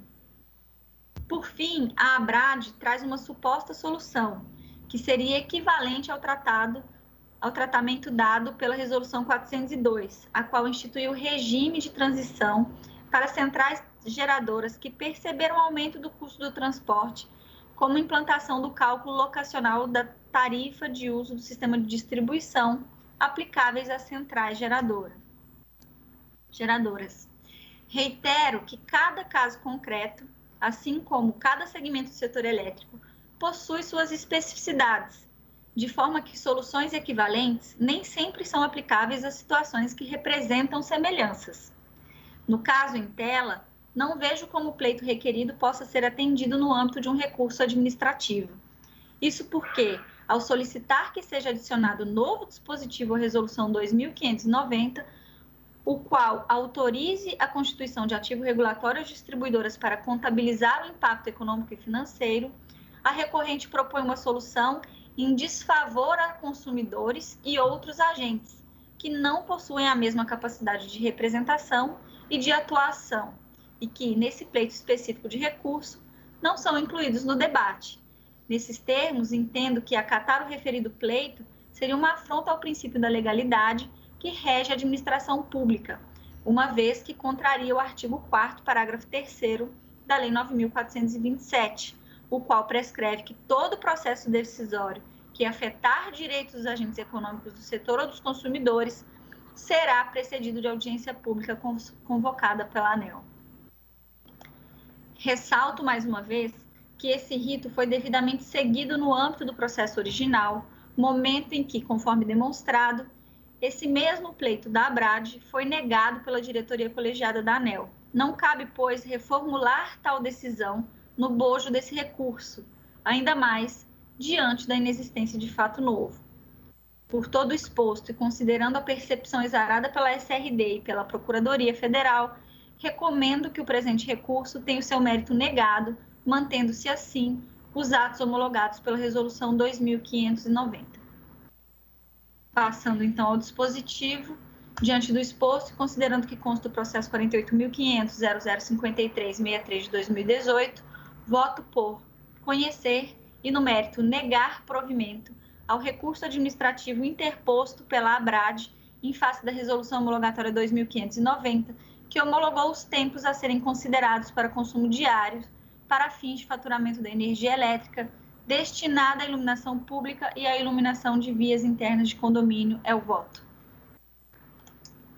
Em discussão.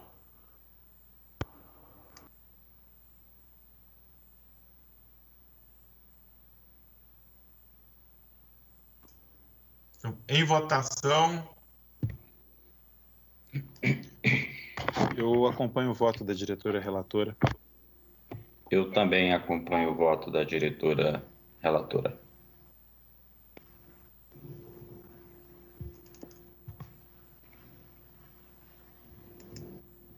Diretor Sandoval. Diretor Sandoval não está na sala, né? Ele está fora. Né? Deve ter caído. Então vamos adotar o mesmo procedimento da votação do item anterior. Quando se reconectar, ele tem a prerrogativa, conforme o regimento, de registrar seu voto durante a sessão.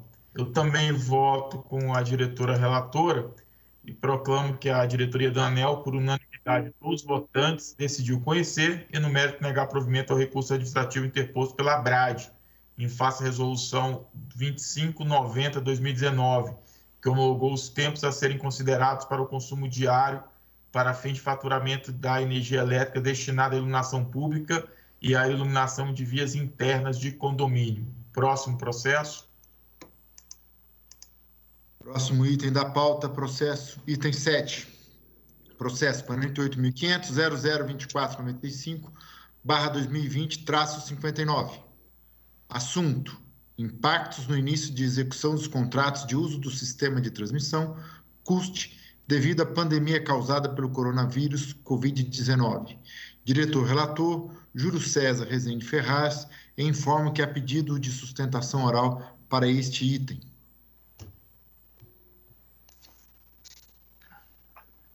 Em 18 de março de 2020, por meio da Portaria 117, o Ministério de Minas e Energia, considerando o estado de emergência de saúde pública de importância internacional em decorrência da pandemia de Covid-19, orientou aos setores de energia e de mineração a adoção de medidas específicas para a preservação da segurança e da adequabilidade do suprimento de energia elétrica e de combustíveis, bem como dos bens minerais em condições de atendimento às necessidades da população, da indústria e do comércio, observando rigorosamente os protocolos de operação segura. Por meio da nota técnica número 1 de 2020, a ANEL expôs a avaliação inicial dos efeitos da pandemia de Covid-19 o documento, elaborado pelo Gabinete de Monitoramento da Situação Elétrica da agência, contempla eventuais medidas de curto e de médio prazo para o enfrentamento da crise. Por meio da Carta Abrajet 16, de 20 de abril, a Associação Brasileira de Geradoras Térmicas solicitou, em caráter excepcional, o afastamento do regramento atual para possibilitar a postergação do início de CCARs e de CUST, ou CUSD, pelo período de até um ano, em caso de interesse do gerador. Em 22 de abril de 2020, o ONS encaminhou mensagem eletrônica contendo o levantamento dos custos com início de execução entre abril e dezembro de 2020, bem como listou correspondências recebidas de usuários informando as dificuldades relacionadas à contratação do uso em decorrência da pandemia de Covid-19. Por meio da nota técnica 46 de 2020, de 7 de maio último, a SRT apresentou suas conclusões sobre o tema. Em 4 de maio de 2020, o processo foi distribuído por sorteio a essa relatoria e, por meio da nota técnica 47, de 11 de maio de 20, a SRT complementou a análise apresentada na nota técnica número 46. Esse é o relatório. Procuradoria. Chefe, é, por favor, eu, eu, temos que ouvir a sustentação oral. Ah, é, temos uma sustentação oral, então vamos à sustentação oral primeiro.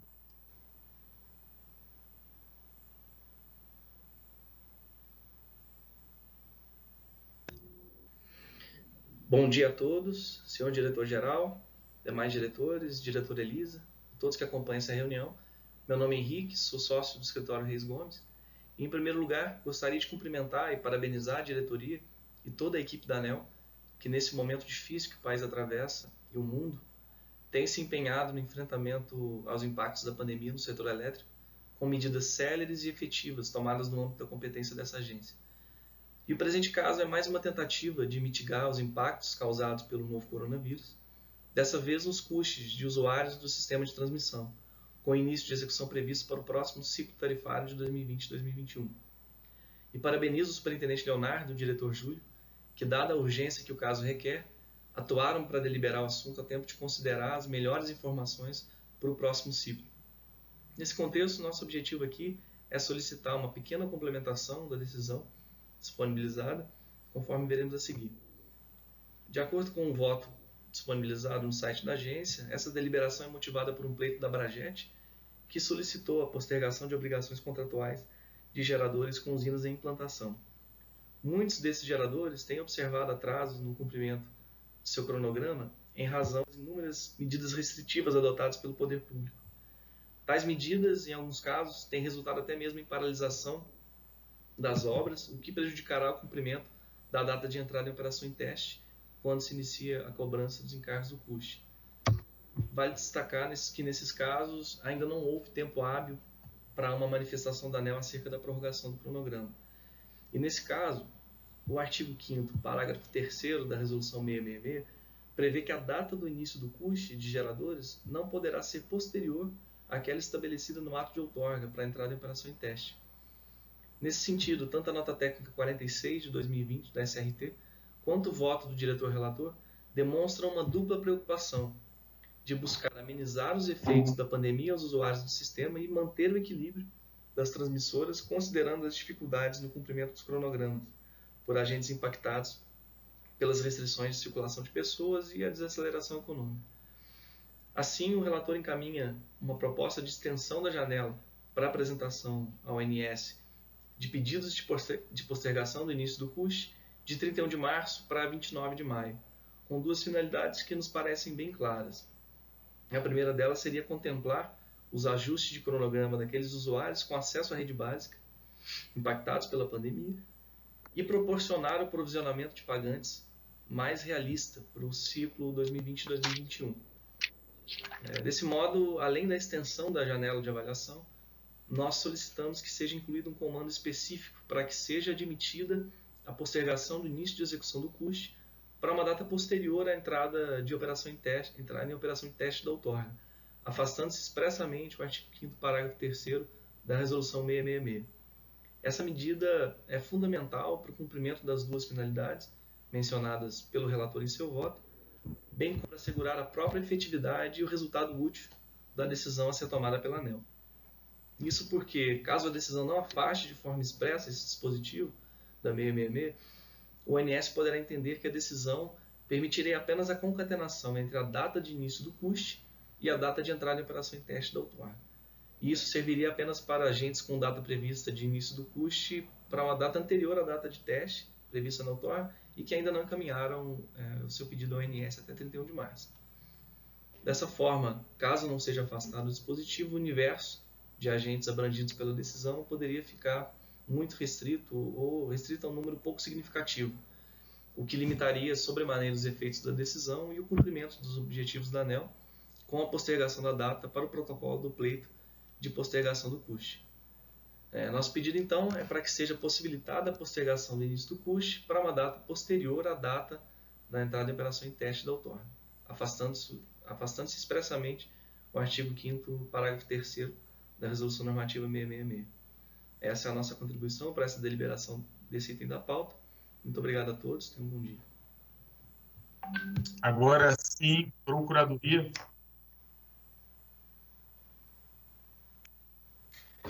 Os senhores diretores, nesse caso, não houve um pedido de parecer, mas realmente a questão aqui ela é discricionária. Basicamente, o que tem que se analisar é qual que é o remédio adequado para o efeito de execução de custo, em razão dos eventos que todos estamos vivenciando do, da pandemia de Covid. Então, sendo assim, não há uma questão propriamente jurídica, mas sim uma questão discricionária de avaliar qual o melhor remédio a ser adotado no caso concreto. Ok. Então, a fundamentação, iniciando no item 8.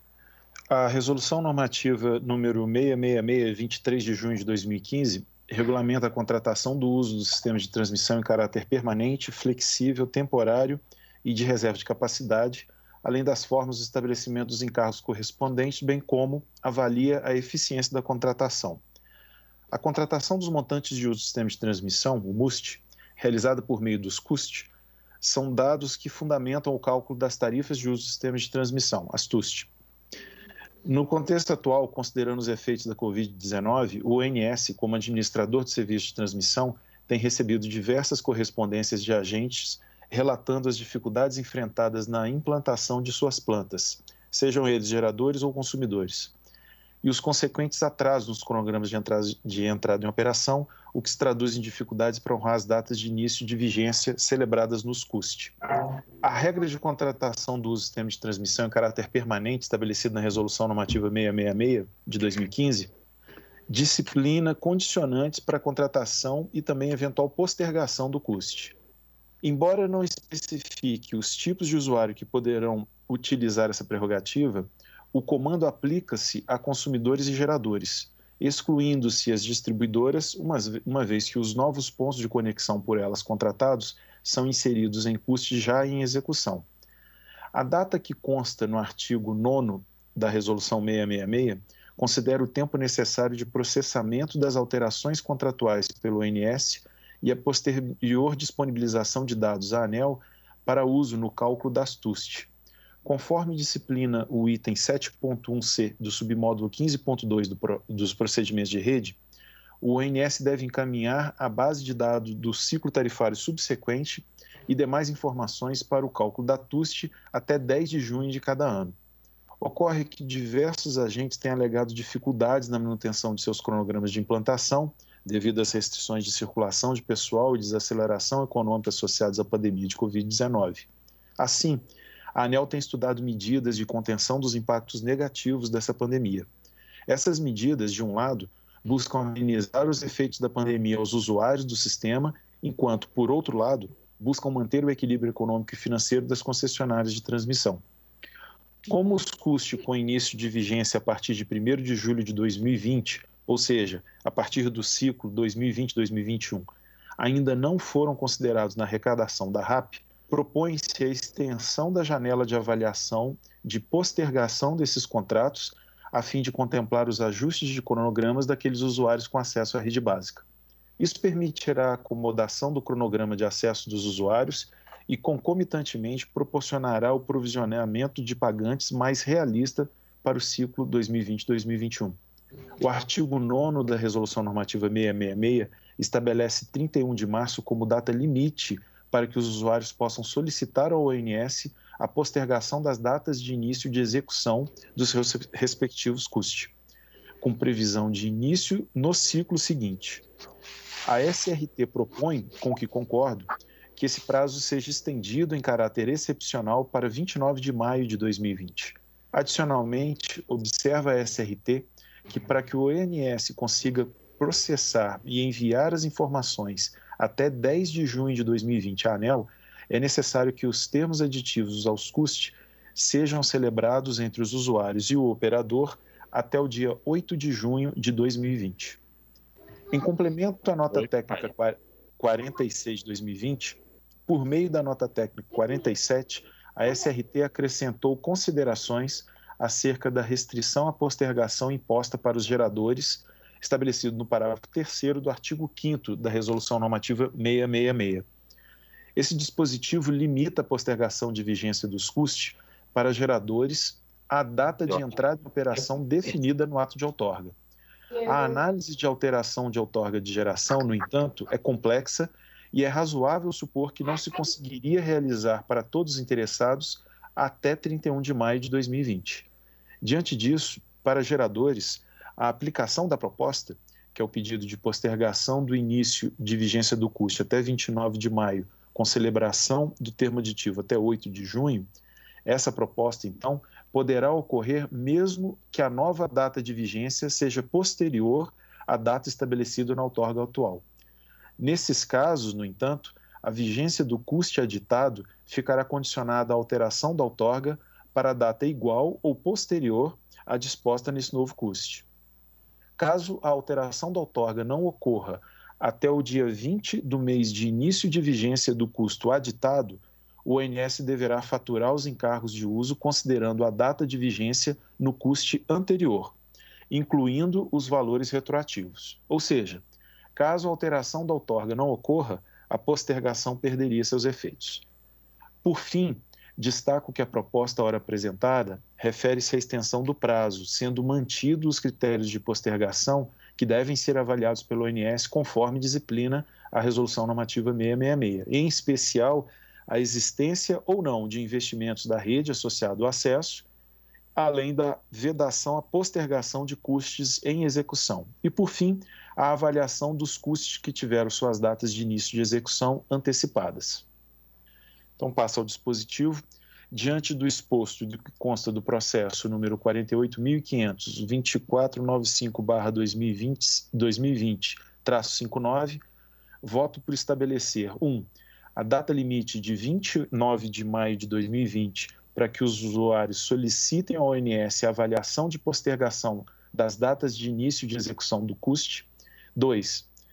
Estabelecer a data limite de 8 de junho de 2020 para que os usuários e o ONS celebrem termo aditivo ao CUST, conforme a Resolução Normativa 666 de 2015. E 3. Estabelecer para geradores que os efeitos da postergação das datas de início de execução do CUST estão condicionados à alteração da outorga até o vigésimo dia do mês de início da execução do CUST aditado. É o voto, senhores diretores. Só um, antes, antes da discussão, André, só uma observação que o voto ele estava disponibilizado desde quinta-feira no site da ANEL e, por causa disso, o, o colega que fez a manifestação oral identificou essa, essa dificuldade referente à alteração eventual de outorga, e isso levou ao complemento de análise muito célere que a SRT fez e que eu já acompanhei e já coloquei no voto hora proferido. Perfeito, doutor Júlio. Então, em discussão, Bom, é, primeiro eu quero destacar que esse é mais um resultado da atenção que a ANEL tem dado aos efeitos da pandemia de Covid-19 no setor elétrico. Né? A agência ela tem monitorado de perto né, os efeitos da pandemia por meio do nosso gabinete de monitoramento e vem trabalhando arduamente para manter a solvência do setor e encontrar caminhos para a gente sair dessa crise, quem sabe até melhores do que a gente entrou. Nesse contexto, é, a medida relatada pelo diretor Júlio é mais uma ação da ANEL, que assim como outras que aprovamos nesse colegiado, segue alguns princípios norteadores, né, que visam a redução desse impacto é, da pandemia no setor elétrico sem comprometer o futuro pós-crise, que é algo que a gente tem bastante preocupação. A proposta ela trata da prorrogação dos prazos de postergação do início de execução dos custos, né, no, nos termos é, da Resolução 666, conforme exposto pelo, pelo relator. Isso permitirá que os consumidores e geradores cujos contratos entrariam em execução nos próximos ciclos tarifários possam postergar o início de execução desses contratos, né? atenuando assim os efeitos das dificuldades impostas é, pela pandemia na implantação de seus empreendimentos. Com isso, a gente reduz o risco de inadimplência no segmento de transmissão. É importante destacar que essa medida ela também atenua os efeitos da crise para os usuários do sistema de transmissão, sem que altere qualquer condição estabelecida na norma, né? É uma solução que, como colocou o diretor Júlio, respeita os princípios da regulamentação e preserva os contratos firmados, que é algo que a ANEL tem repetido sempre é, como, um, como algo caro para a ANEL, né? Preservação dos contratos. E a preserva... isso porque a preservação, assim como já previsto na norma, limita-se a contratos que entrarão em execução apenas nos próximos ciclos, né? Então, assim, ou seja, contratos que os MUSTs ainda não foram considerados no cálculo da TUST. Então, ele não considera isso. E dessa forma, a proposta não compromete esses compromissos já firmados nesse ciclo tarifário e não afeta a arrecadação para fazer frente às receitas das transmissoras. Essa é uma proposta que, que vai ao encontro do que a gente entende como correto. Né? Por outro lado, essa medida também reduz risco de inadimplência no próximo ciclo tarifário, né? já que ela tende a aproximar a contratação das perspectivas para o ciclo, que é o próximo ciclo 2021. Né? Então, assim, eu já antecipo minha concordância com essa medida, acho que ela vem como mais uma das medidas que a ANEL tem tomado para reduzir o impacto da Covid no setor elétrico. Essas são as minhas considerações.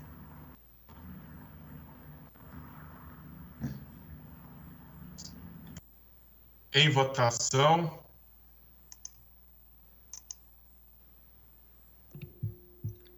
Acompanho o voto, considerando que a doutora Elisa já fez o voto dela. Acompanho o voto da, do diretor relator, doutor Júlio Ferraz. Também acompanho o voto do relator e proclamo que a diretoria da ANEL, por unanimidade, decidiu estabelecer a data limite de 29 de maio de 2020 para que usuários solicitem ao ONS a avaliação de postergação das datas de início de execução do CUST, do contrato de uso do sistema de transmissão, estabelecer a data de 8 de junho de 2020 para que os usuários e o ONS celebrem termo aditivo ao custo, conforme resolução 666 de 2015, e, por fim, estabelecer para geradores que os efeitos da postergação das datas de início de execução do custo estão condicionados à alteração da outorga até o vigésimo dia do mês de início da execução do curso aditado. Próximo processo. Próximo item da pauta. Item 3. Processo 48.500 002289 2003 21. Assunto: Recurso administrativo interposto pela Corredeiras Energéticas SA, em face do despacho número 2422-2018, emitido pela Superintendência de Concessões e Autorizações de Geração, SCG, que tornou disponível o eixo da pequena central hidrelétrica PCH Corredeira, no Rio Juba, em Barra do Bugres, Estado de Mato Grosso, cujo despacho de registro de, da adequabilidade do sumário executivo da RS PCH teve sua vigência expirada. Diretora relatora Elisa Bastos Silva. Por meio de despacho, a Superintendência de Concessões e Autorizações de Geração, SCG, conferiu o registro da adequabilidade do sumário executivo com os estudos de inventário para PCH Corredeira, de titularidade da Corredeiras Energética SA. Tal ato tendo validade de três anos, conforme disposto no artigo. Tal ato tem validade de três anos, conforme disposto no artigo 12, parágrafo 4 da Resolução Normativa 673, de 4 de agosto de 2015. Amparada neste dispositivo e com base em fundamentação, foi emitido o despacho SCG 2422, de 23 de outubro de 2018, por meio do qual, além de outras providências, a SCG tornou disponíveis os eixos referentes às PCHs listadas no seu anexo 1, dentre as quais a PCH corredeira, cujos DRS PCH tiveram a vigência expirada nos termos do parágrafo 4 artigo 12 da Resolução Normativa 673 e ainda registrou, nos termos do artigo 15 da Resolução Normativa 673, o comportamento desses empreendedores para fim de obtenção de novas outorgas, visto que não foram identificadas suas diligências para obterem licenciamentos ambientais para as usinas em questão e, por consequência, não houve exploração desses aproveitamentos hidrelétricos durante o período de vigência de suas autorizações. A Corredeiras Energética SA protocolou recurso administrativo em face do despacho 2422 de 2018, por meio de expediente de 5 de novembro de 2018. A SCG documentou a análise do recurso por meio da nota técnica 601, de 21 de dezembro de 2018, e, e concluiu por conhecer e dar-lhe parcial provimento, encaminhando o processo para a diretoria em sede de recurso. O processo foi distribuído na primeira sessão do sorteio público ordinário de 2019. Foi solicitada a manifestação da Procuradoria Federal junto à ANEL quanto ao caso em tela, em conjunto com os demais processos que se encontravam apensados. A Procuradoria Federal junto à ANEL manifestou seu entendimento por meio do parecer 276 de 13 de junho de 2019. É o relatório. Temos sustentação oral?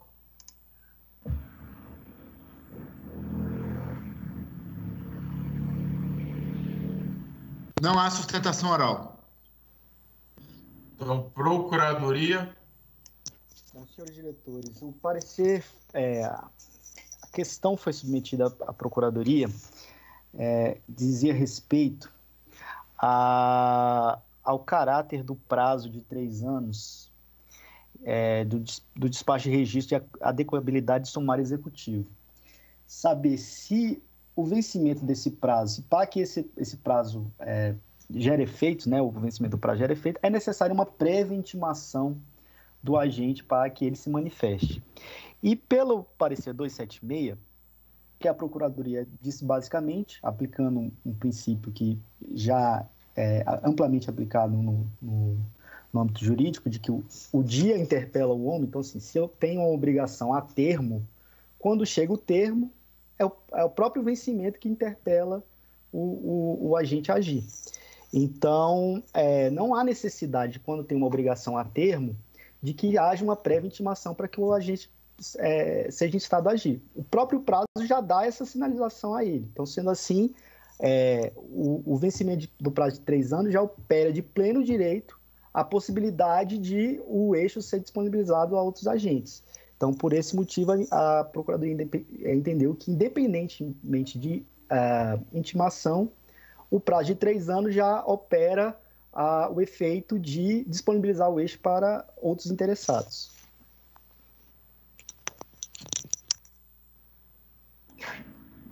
Obrigada, Eduardo. Bom, o despacho 2422 de 23 de outubro de 2018 foi publicado em 24 de outubro de 2018. Nesse sentido, o prazo de 10 dias para a interposição do recurso findou-se em 5 de novembro de 2018. O recurso administrativo foi apresentado em 5 de novembro de 2018, durante prazo recursal, sendo considerado, portanto, tempestivo.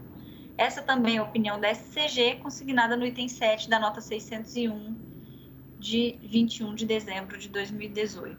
Meu entendimento, portanto, é pelo conhecimento do recurso. Trata-se de recurso administrativo interposto pela Corredeiras Energética SA em face do despacho SCG 2422. Meu entendimento é por manter o juízo de reconsideração da SCG quanto ao registro da Corredeiras Energética SA nos termos do artigo 15 da Resolução Normativa 673 de 2015, para fins de obtenção de novas outorgas, e por declarar a perda de objeto quanto à decisão da SCG de tornar disponível o eixo da PCH corredeira em decorrência do exaurimento da vigência de seu DRS-PCH, haja vista que a própria interessada se manifestou nesse sentido. Por intermédio do despacho 3.199, a SCG conferiu a DRS-PCH para a PCH corredeira, que totaliza uma capacidade instalada de 10,5 MW. Conforme já relatado, tais atos têm validade de três anos. Amparada no artigo 12, parágrafo 4 da Resolução 673, a SCG emitiu o despacho 2422, que tornou disponíveis os eixos relacionados a sete empreendimentos, dentre os quais a, PRE, a PCH Corredeira, para solicitação de novos pedidos de registro de intenção à outorga de autorização, consignado por eventual emissão de DRI-PCH. Diante do recurso administrativo em tela, em 6 de novembro de 2018, foi emitido o comunicado número 6, no qual a SCG suspendeu os efeitos do despacho 2422 até que fosse julgado o mérito dos recursos interpostos, dentre os quais este sob exame. No que diz respeito à suspensão dos efeitos do despacho 2422, a SCG destacou que foi emitido o comunicado número 6, que suspendeu os efeitos do despacho até decisão em instância recursal, objeto desse voto. Tal ato, que confere efeito suspensivo ao despacho 2422, encontra amparo no artigo 47, parágrafo 5 da norma organizacional da ANEL número 1, aprovada por meio da resolução normativa 273.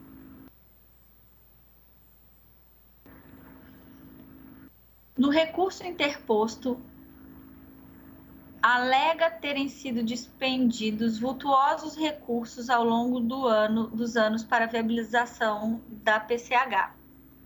Além disso, argumenta que a realidade dos fatos está em, está em contraste com a decisão da SCG, que, para a empresa, se baseou apenas no formalismo processual para proceder à disponibilização do eixo para outros interessados. No entanto, reconhece que não cuidou de informar para a ANEL as medidas que estavam sendo tomadas com vistas à obtenção do licenciamento ambiental, nem efetivou a requisição para prorrogação do DRS-PCH.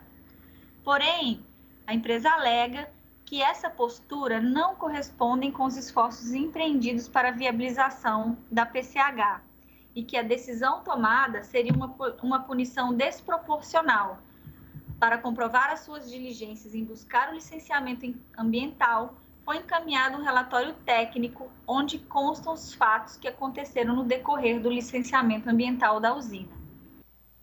Alega ainda que a viabilidade econômica da PCH Corredeira ficou prejudicada pelo fato de que, na área da usina, foi concedida uma lavra para exploração de calcário e, diante de tal fato, aceita que sejam mantidas a perda de vigência da DRS-PCH relativa a PCH corredeiras, consignada por meio do ato recorrido, o despacho 2422.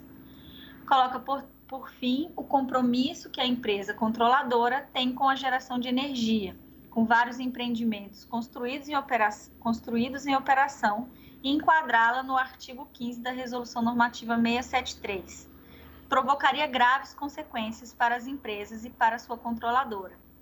Solicita então empresa, as, que as empresas e sua controladora não sejam enquadradas no artigo 15 da Resolução Normativa 673. De uma maneira geral, depreende-se que a requerente alega que a ANEL deveria tê-la comunicado a respeito da necessidade de protocolo pedido de prorrogação DRS-PCH antes que fosse emitido o ato recorrido que ensejou a disponibilização dos eixos dos empreendimentos, o despacho 2422. A SCG reforça o dispositivo que ensejou a disponibilização dos eixos, o artigo 12 da Resolução Normativa 673. Para a SCG, resta claro a vigência do DRS-PCH expira que a vigência do DRS-PCH expira após transcorridos três anos de sua publicação, independente de manifestação do ANEL. Em outras palavras, o dispositivo da Resolução 673 dispensaria a ANEL de comunicar qualquer interessada sobre a expiração da vigência do respectivo DRS-PCH. A Procuradoria Federal, junto à ANEL, também se manifestou no mesmo sentido, conforme consta de excerto do parecer 276, de 13 de junho de 2019, por meio do qual resta claro que o efeito da preclusão temporal se opera sem que haja necessidade de qualquer contraditório prévio. A Procuradoria Federal cita o trecho do voto do diretor José Jurosa Júnior, proferido em 4 de agosto de 2015, quando da aprovação da resolução normativa 673, por meio da, da qual resta cristalino que o agente pode fazer jus à prorrogação do DRS-PCH, desde que comprovadas as dificuldades enfrentadas durante o diligente processo de licenciamento socioambiental exemplificando como documentá-las conforme reproduzido a seguir. Vou dispensar a leitura do trecho.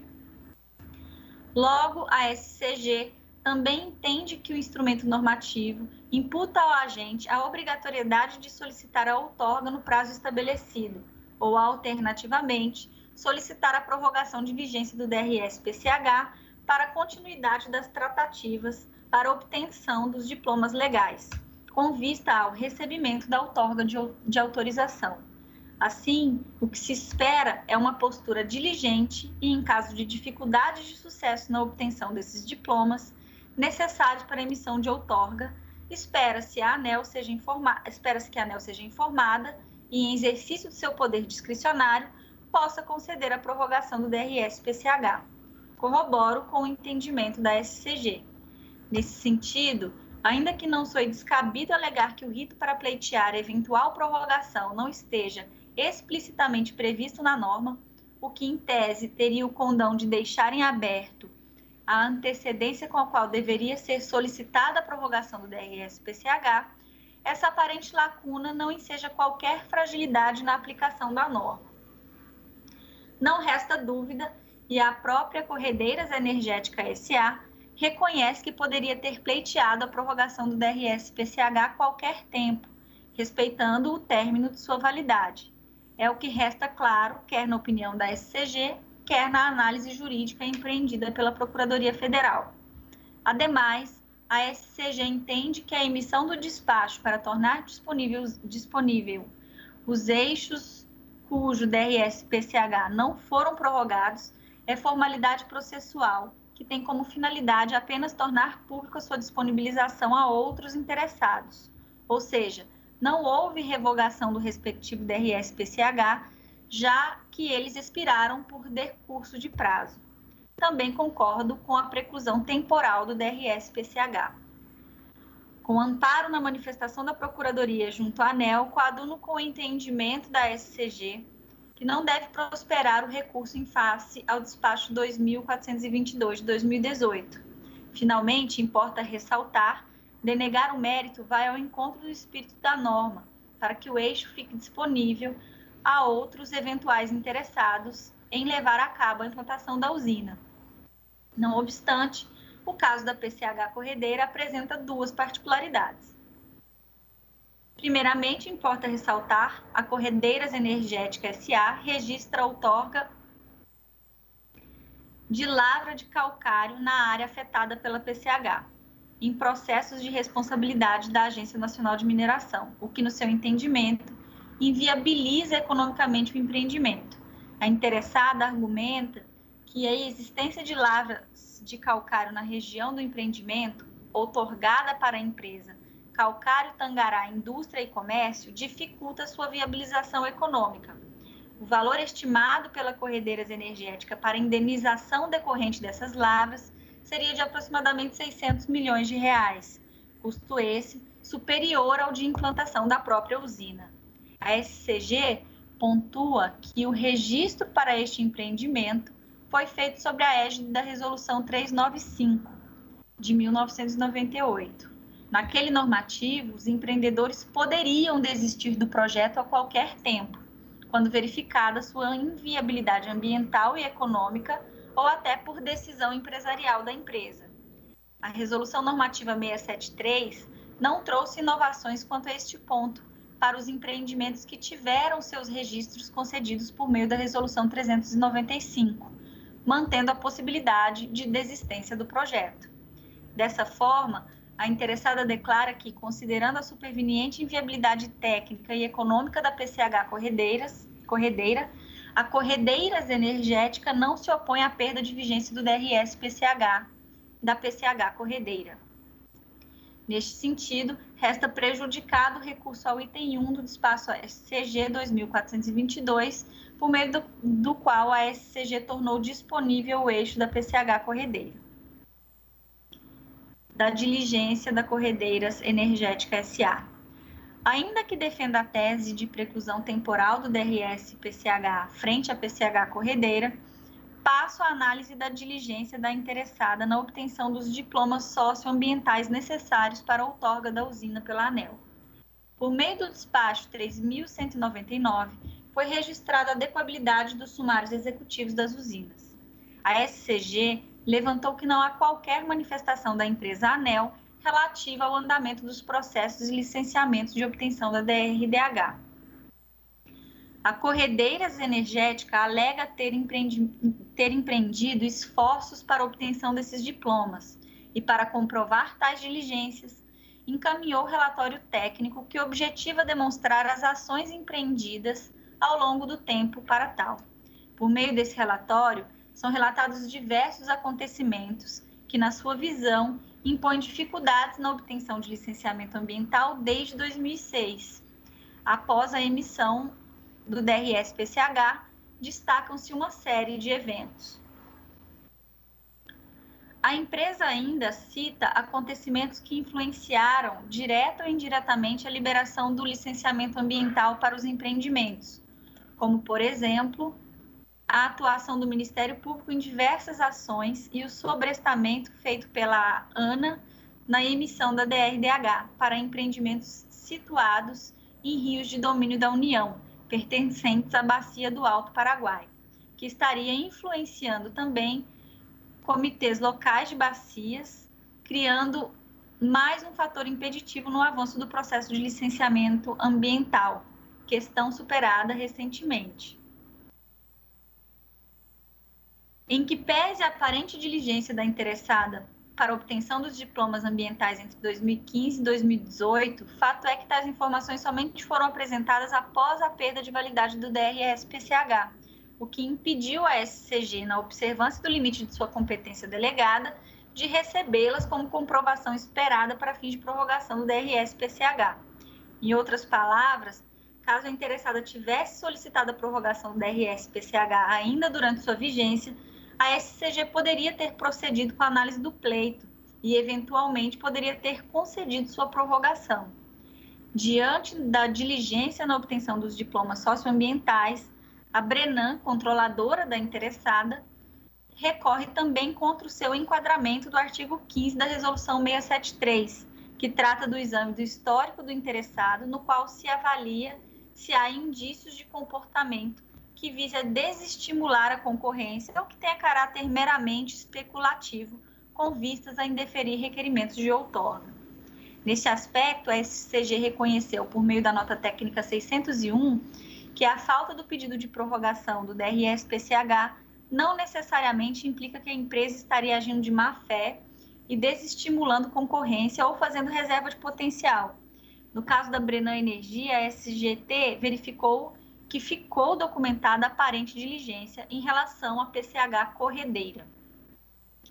Além disso, a Brena Energia detém titularidade de diversos aproveitamentos em operação, o que indica compromisso na construção e desenvolvimento de empreendimentos de geração. Dessa forma, a SGT SCG, em juízo de reconsideração, nos termos do item 89 da nota técnica 601, resolveu não registrar no histórico das Corredeiras Energéticas SA e de sua controladora Brenan Energia menção ao comportamento que desestimule a concorrência ou que tenha caráter especulativo nos termos do artigo 15 da Resolução Normativa 673.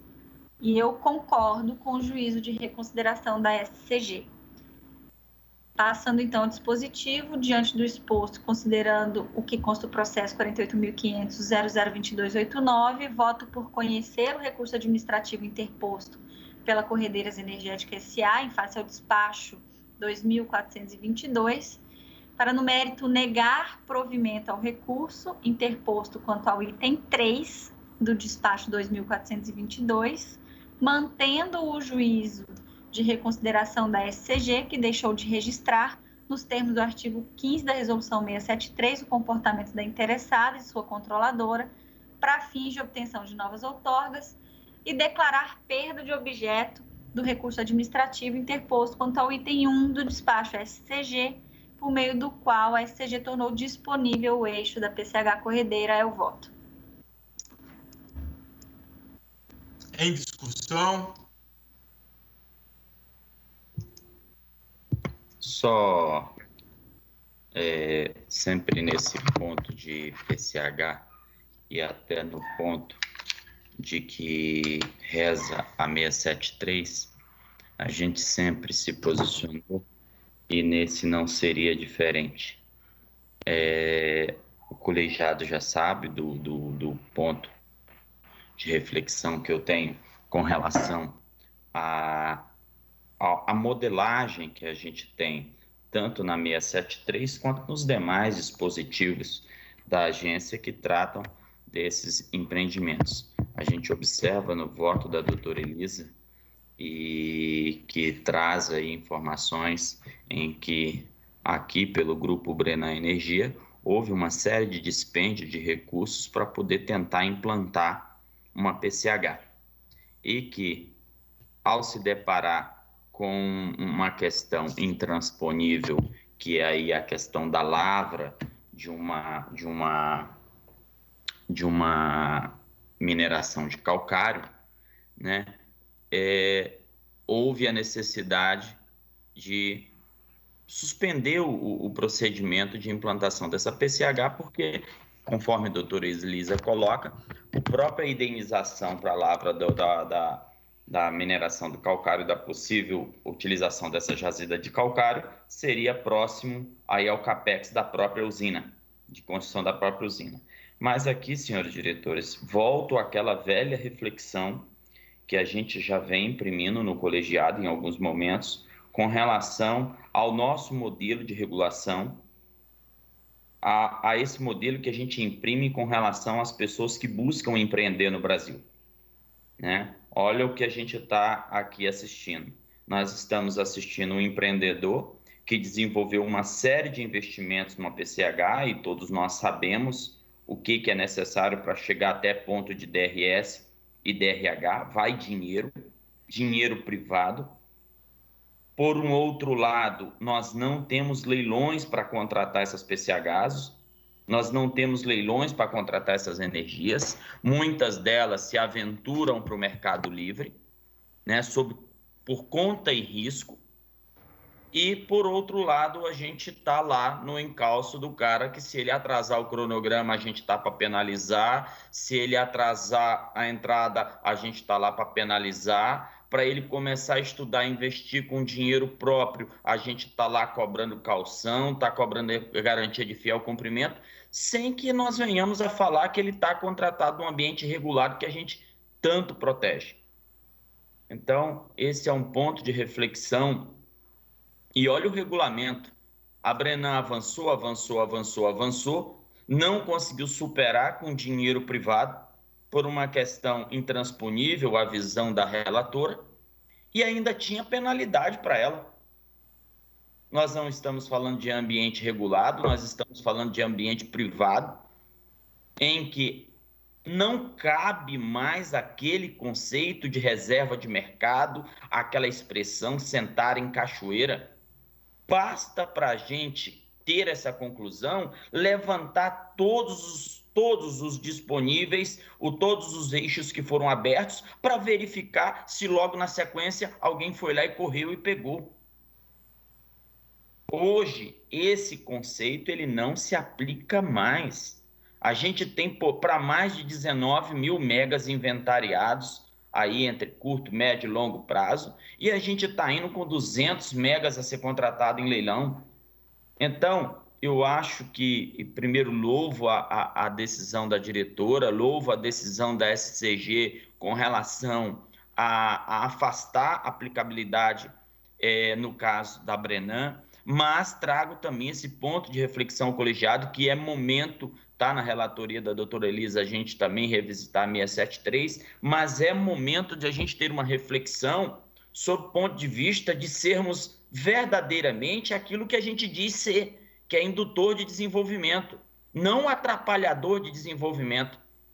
Agora a pessoa vai lá com o dinheiro próprio dela, capital privado, não há capital de governo a ser protegido, não há capital regulado, não há ambiente regulado, aí ele vai lá investe 10, é, 1 milhão, 2, 3, 4 milhões. E eu digo para ele, ó, e se tu errar e se tu vacilar, eu ainda te vou te punir. Qual a lógica de imputar a agência um vetor de desenvolvimento por meio do setor elétrico. Então, primeiro, é, deixo essa reflexão com o colegiado e, e a, falo aí já naturalmente a empreendedores que observam aqui o voto da doutora Elisa com relação a, a essa PCH, mas já deixo aqui uma sinalização muito clara do que é o ponto de vista que temos em relação a esses julgamentos. O colegiado não é de hoje que sabe o meu ponto de vista, mas eu acho que a gente vai avançar, a gente tem que avançar muito nesse ponto, sobretudo para induzir investimentos no país. Se a partir do leilão foi contratado em ambiente regulado, perfeito. Aí a gente imprime uma regulação forte. Agora não cabe para a gente, sobre o argumento e sobre o pretexto de reserva de mercado, de sentar na cachoeira e por aquele potencial ser um potencial a priori de competência da União, a gente imprimir uma regulação tão punitiva e tão forte num ambiente onde o que prima é o dinheiro privado. Então, só parabenizar a doutora Elisa pela condução do voto e creio que comigo não seria diferente, até porque eu penso muito nesse modelo e nesse racional que a doutora Elisa imprimiu no voto dela, e desde já adianto aqui minha concordância com o voto da doutora Elisa. De fato, doutor Efraim, você traz alguns princípios importantes, assim como a diretora Elisa em seu voto. Ou seja, esse é um segmento da economia que todo investimento é privado. Não existe dinheiro público a, alocado no desenvolvimento de estudos de inventário ou de eixos de PCH estamos num, num momento, conforme você bem sinalizou, em que a contratação por leilão é mínima e aí vai se agravar em se já era mínima, a tendência é se agravar ainda mais nesse cenário da pandemia do Covid, com a redução do mercado que estamos observando. Inclusive, já está na agência o pleito formulado pela CCE, pelo ONS e pela EPE para considerar a redução da carga diante de um PIB de menos 5%, pois a última remodelagem foi feita considerando é, um PIB de 0%. Então, se aquele cenário de contratação via leilão já era restritivo, agora será ainda mais restritivo. Então, para essas usinas resta o mercado livre. E o mercado livre também sofrendo bastante é, com essa crise. Então a gente se associa a essa visão de desburocratizar, a essa visão de quebrar barreiras. A doutora Elisa está com um processo importante e que pode canalizar toda essa discussão que é a revisão da norma. E também nessa revisão da norma a gente pode dar o sinal adequado para a questão da, das usinas que tiveram a DRS PCH vencidas e que não fizeram é, o pedido né, para renovar. Acho que tem uma série de pleitos aqui na agência aguardando a nossa definição da norma para que possa dar seguimento. Mas eu acho que fica claro aqui diante do, dos debates o sinal que a gente apresenta para o mercado, essa sensibilidade com o empreendedorismo privado no país e num segmento tão importante para o setor elétrico, que é o das PCHs e um segmento que vem sendo muito penalizado, primeiro por restrições ambientais, segundo pela, pela falta de perspectiva de contratação em maior magnitude dessa energia nos processos competitivos para atender a, o segmento de distribuição. E que, volto a frisar, diante desse cenário da pandemia, se agrava ainda mais em função da redução de mercado e desse pleito que está apresentado na agência de reduzir a carga, considerando um PIB de menos 5%. Então, a gente deve voltar aos patamares de abril, maio de carga, uma vez acatado esse pleito. Então, é importante a, essa revisão da norma refletir isso, algo que a própria SCG já vem trazendo aqui pra, para a diretoria, esse espírito de, de, de desburocratizar, esse espírito de quebrar barreiras. Mas é importante que hoje tenha uma norma em vigor que não está condizente com esse cenário, com essa reflexão que estamos fazendo aqui no colegiado e que precisamos ajustar essa norma para que ela passe a incorporar essa visão e a gente favorecer, como disse o diretor Efraim, o, o empreendedorismo e ter a agência reconhecida como indutora do desenvolvimento. Mas a, a gente teve já uma conversa ontem dos diretores com a, com a diretora Elisa, que está conduzindo a instrução dessa norma, e tem uma grande oportunidade de fazer toda, trazer todos esses conceitos, esses princípios para dentro dessa norma que em breve a relatora deve estar tá trazendo aqui para julgamento. Mas em votação. Eu acompanho o voto da diretora relatora. Eu também acompanho o voto da doutora Elisa, relatora do processo. Também acompanho o voto da diretora relatora e proclamo que a diretoria da ANEL, por unanimidade dos votantes, decidiu conhecer do recurso administrativo interposto pela Corredeiras Energética SA, em face do despacho 2422 de 2018, no mérito negar provimento ao recurso administrativo interposto ao item 3 do despacho 2422 da SCG, mantendo o juízo de reconsideração da SCG, que deixou de registrar, nos termos do artigo 15 da Resolução Normativa 673, o comportamento da interessada e de sua controladora para fim de obtenção de novas outorgas e declarar perda de objeto do recurso administrativo interposto no item 1 do despacho 2422-2018, por meio da qual a SCG tornou indisponível o eixo da PCH Corredeira. Próximo processo. Primeiro informamos que vamos fazer uma pequena alteração na pauta. O processo a ser deliberado agora será o item 1, processo 48.500.005211, barra 2019-42.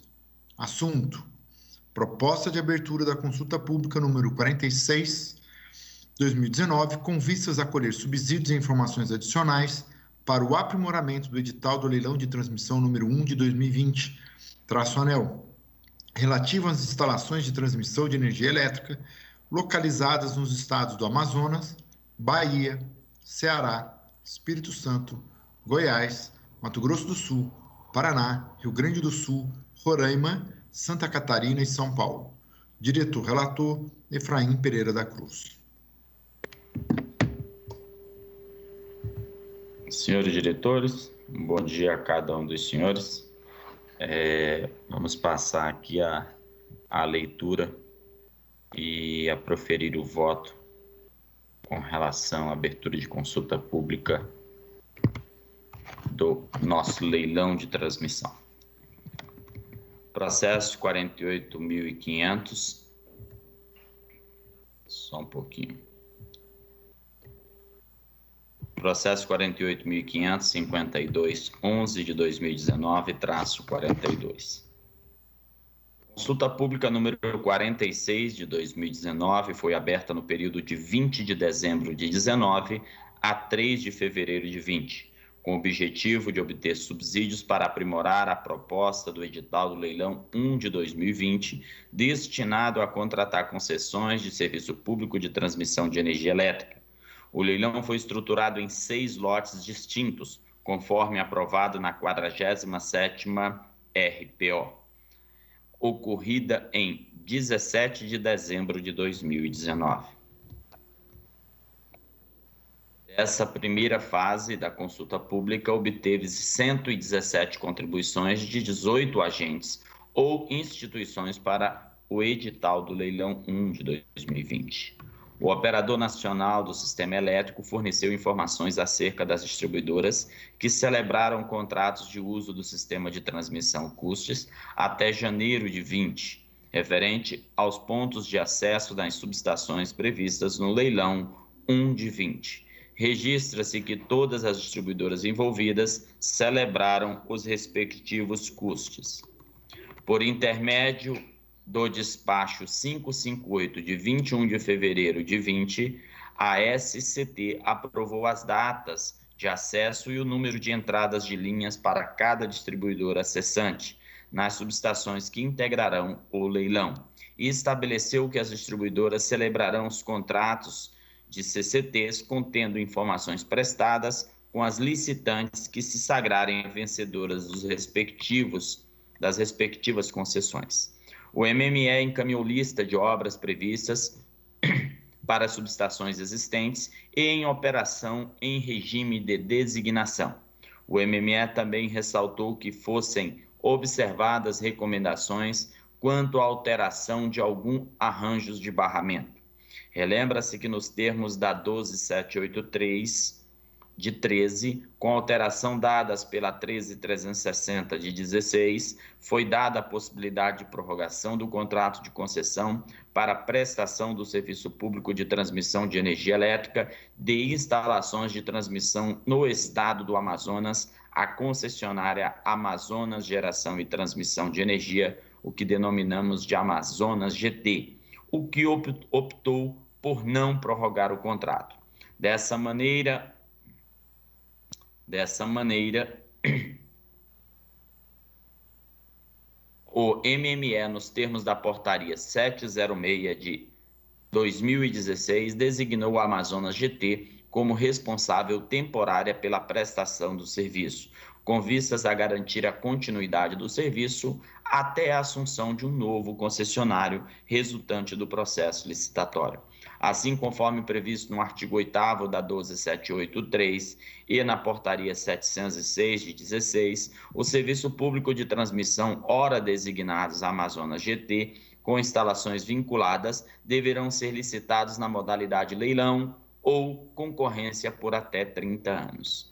Adicionalmente, as instalações existentes vinculadas ao serviço público de transmissão hora designado Amazonas GT, serão inclusas na licitação novas instalações de transmissão na região prevista pelo planejamento setorial para atendimento às localidades de Manaus e de Presidente Figueiredo, bem como a revitalização das instalações existentes a partir de avaliação do planejamento setorial a compor lote, a compor lote único neste próximo leilão. A Amazonas GT, por meio da correspondência, relacionou comentários sobre a substituição de equipamentos nos setores de 230 kV da subestação Manaus, Cristiano Rocha, Balbina e no de 69 kV na subestação Manaus, indicadas no Plano de Outorgas de Transmissão de Energia Elétrica, o POT. A Amazonas GT encaminhou documentos para a formação do data room dos ativos de transmissão existentes. Na segunda sessão do sorteio público de 20, o processo foi a mim distribuído em razão da exoneração do então diretor, Dr. Rodrigo Limpe, que hoje exerce a função de secretário de Energia do Ministério de Minas e Energia. Observa-se que entre janeiro e abril de 20, o MME encaminhou novos estudos realizados pela EPE para licitação de expansão de instalação de transmissão de rede básica e que constam nos processos específicos dos empreendimentos. Esses estudos estão consubstanciados nos relatórios técnicos R1, Estudos de Viabilidade Técnica, Econômica Social, R2, Detalhamento da Alternativa de Referência, R3, Caracterização e Análise Socioambiental e R4, Caracterização da Rede Existente, além de estudos de avaliação fundiária e foram utilizados como referência para a instrução deste processo e elaboração da minuta digital. Nota-se Nota-se ainda que as linhas de transmissão, as subestações e demais instalações de transmissões vinculadas aos empreendimentos que comporão o edital do leilão foram indicadas pelo poder concedente para licitação no documento POT, emissões de dezembro de 18, julho de 19, setembro de 19 e dezembro de 19 e ainda nos ofícios que constam nos processos de empreendimentos que compõem os lotes os quais encaminharam os relatórios R1, R2, R3 e R4 para a elaboração do edital. Também, em casos específicos, foram encaminhados estudos para valoração fundiária denominados R5. Está prevista a publicação de nova versão do POT até o final do primeiro semestre de 20, com a inclusão de alguns empreendimentos ainda ausentes e ajustes pontuais em datas de necessidade em relação à versão vigente. Aqui importa destacar que a portaria do MME número 134 de 20 suspendeu por tempo indeterminado, CINEDI, a realização dos leilões de transmissão de 2020 indicados na portaria 15 de 2020. No entanto, julgo importante reabrir a nova etapa de consulta pública número 46 para colher contribuições acerca do leilão, sem, contudo, fixar a data do certame, mas apenas datas indicativas e sujeitas à definição pelo MME, quanto à oportunidade e conveniência de realização do leilão. Dito de outra forma, nós estamos aqui a proceder com os atos preparatórios. A definição ou não da realização do leilão caberá ao poder concedente que é o MME, no exato momento em que houver oportunidade e conveniência para a realização desse leilão.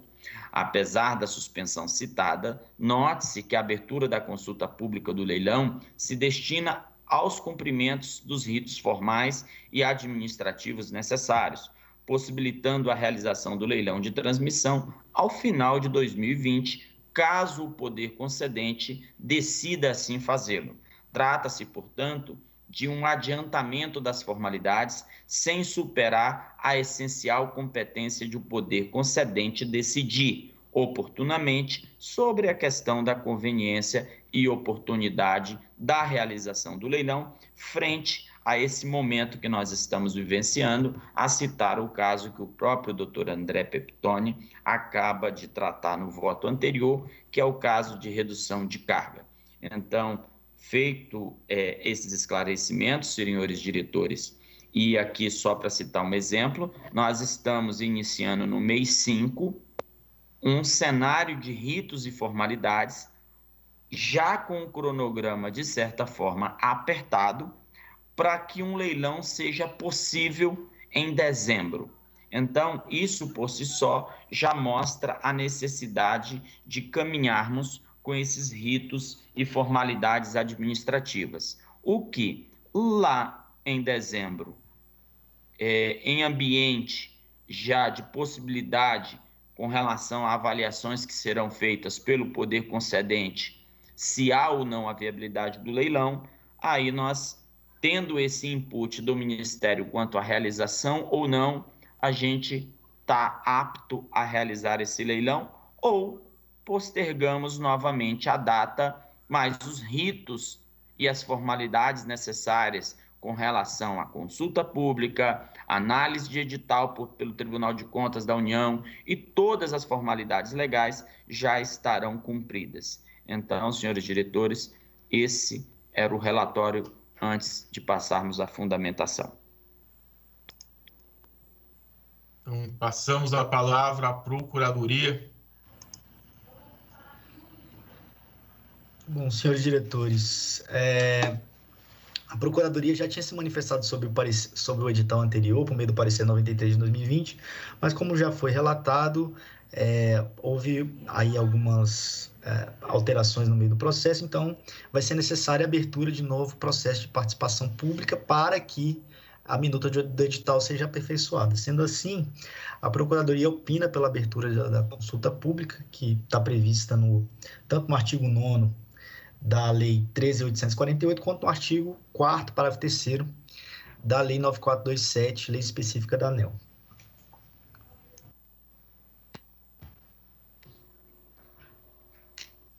Senhores diretores, é, foi solicitado a apresentação técnica que deverá ser feita pelo técnico da CEL, doutor Tiburtino, que vai passar aí mais esclarecimentos de forma mais técnica e mais didática quanto a, aos ritos e passando por todos os lotes do leilão, dando mais um panorama de todo o contexto do leilão. Então, peço aí a, a, a Secretaria-Geral que disponibilize e faça a apresentação a todos os demais diretores e a todos aqueles que estejam nos ouvindo e nos assistindo.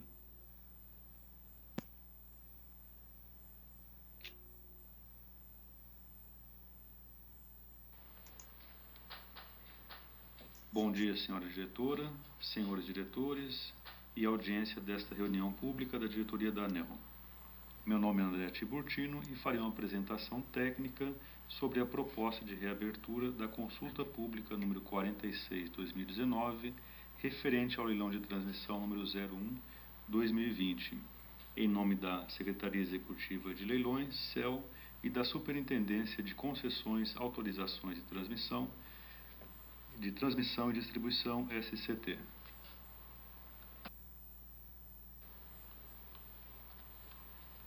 Inicialmente, a consulta pública número 46/2019 continha seis lotes e visava obter subsídios para o edital do leilão número 1/2020, que viria a ser realizado em julho de 2020. Entretanto, em razão da pandemia do novo coronavírus, essa realização foi suspensa pela portaria do Ministério de Minas e Energia número 134/2020, por tempo indeterminado. Recentemente, a ANEL recebeu sinalização de que o poder concedente deseja realizar eh, um leilão de transmissão até o final de 2020. Há um entendimento de que a instrução processual pode prosseguir para agilizar a retomada da licitação quando houver é, autorização novamente do Ministério de Minas e Energia mediante a publicação de um ato, ou seja, de uma portaria. Nesse sentido, a ANEL incluiu nove novos lotes que já estavam programados para serem licitados no final deste ano de 2020.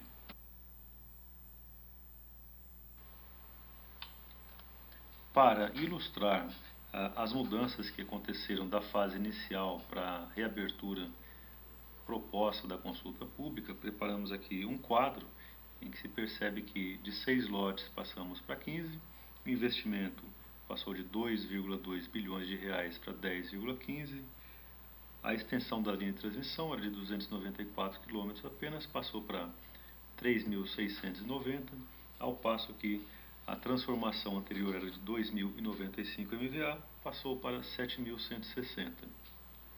De 18 empreendimentos passamos para 59 e de 6 estados da União para 11 estados.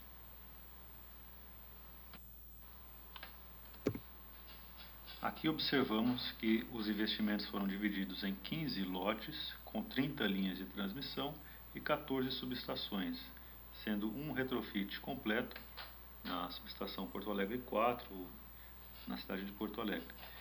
Temos também 385 quilômetros de linha de transmissão que hoje estão designados Amazonas GT, bem como 1.350 MVA que também estão designados a essa mesma transmissora. Os prazos das obras variam entre 42 e 60 meses e os 11 estados que serão contemplados com obras serão Amazonas, Bahia, Ceará, Espírito Santo, Goiás, Paraná, Minas Gerais, Mato Grosso do Sul, Rio Grande do Sul, Santa Catarina e São Paulo. Vamos passar uma breve descrição dos lotes. Então, no lote 1, no estado de Goiás, nós temos para atendimento à região central daquele estado uma linha de transmissão e uma subestação, totalizando 198 quilômetros de, de linha, a um custo aproximado, um investimento de 350 milhões, com prazo de 48 meses. O lote 2, localizado na Bahia, é, para atendimento da área sul da região Nordeste, contempla 1.085 quilômetros de linha de transmissão, 300 MVA em transformação e tem um investimento de aproximadamente 1,93 bilhão de reais.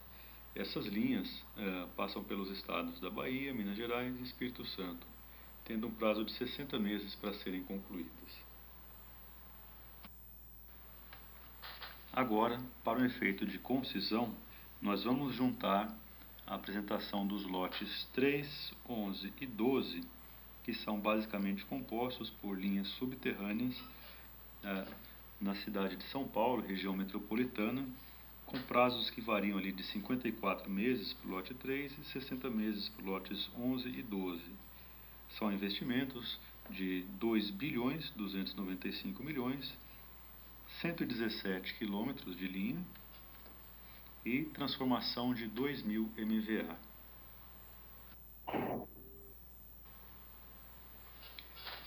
A mesma coisa vamos fazer para os lotes 4, 5, 6, 7, 8, 9 e 10, que basicamente são todos para atender a região sul do país, concentrando na região metropolitana de Porto Alegre. Esses lotes têm um investimento total de 10 bilhões e 600 milhões de reais, com uma extensão de 2.250 quilômetros e uma transformação prevista de 3.264 MVA. Há um reforço também ali na, nas regiões do Paraná e Santa Catarina, buscando trazer essa energia até Porto Alegre.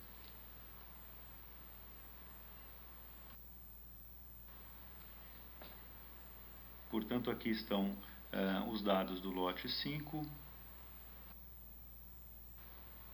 lote 6, lote 7. Observe-se que para o lote 7 há um prazo de transição na transferência eh, das instalações existentes da CEGT para a nova transmissora. Ali vai ocorrer uma revitalização em etapas, ou seja, um retrofit, no qual não se permitirá que as instalações sejam totalmente desligadas. Então, a subestação Porto Alegre 4 vai continuar em funcionamento durante todo o tempo da implantação das novas instalações. Então, lote 8, lote 9 e o lote 10, fechando aí a, a, as obras para o Rio Grande do Sul, esse na, no interior do estado.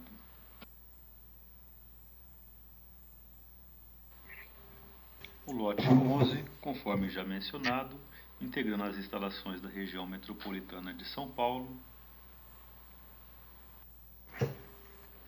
bem como o lote 12.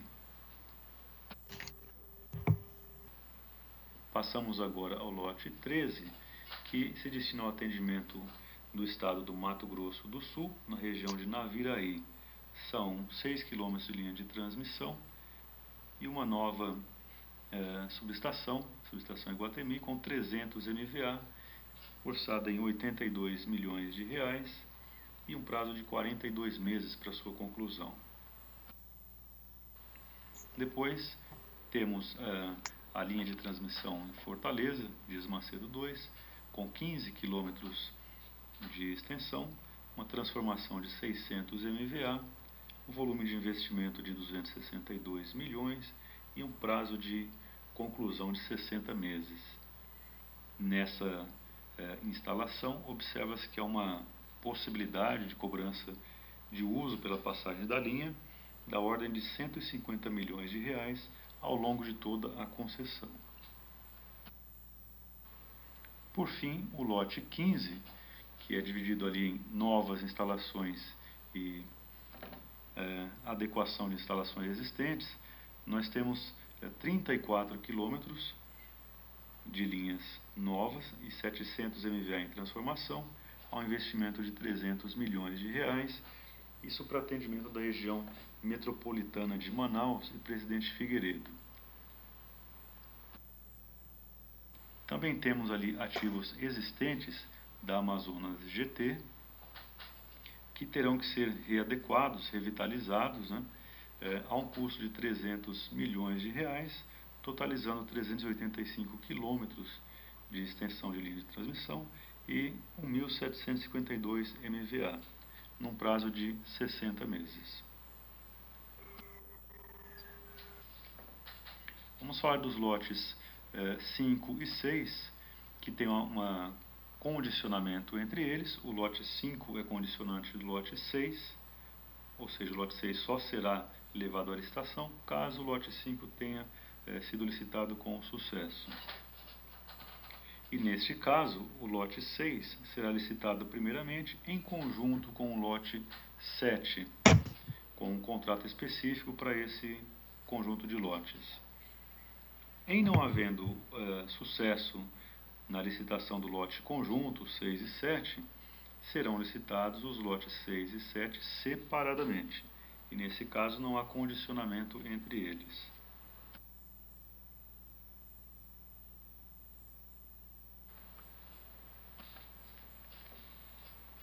O acesso das distribuidoras, conforme previsto na portaria 15/2020, que no momento está suspensa, pela portaria 134/2020, ele é, tinha um prazo até julho de 2020 para ser é, oficializado através da celebração de custo.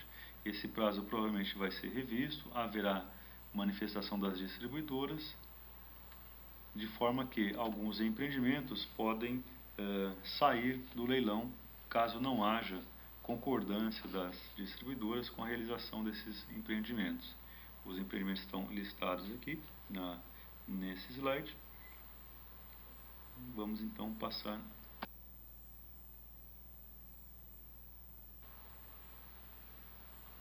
as alterações em relação aos últimos leilões e propostas de inovação. Basicamente, como já havíamos dito, no lote 7 está prevista uma revitalização integral, ou seja, o retrofit da subestação 230 kV Porto Alegre 4, com etapa de transferência e manutenção das instalações de operação comercial concomitante à execução dos serviços.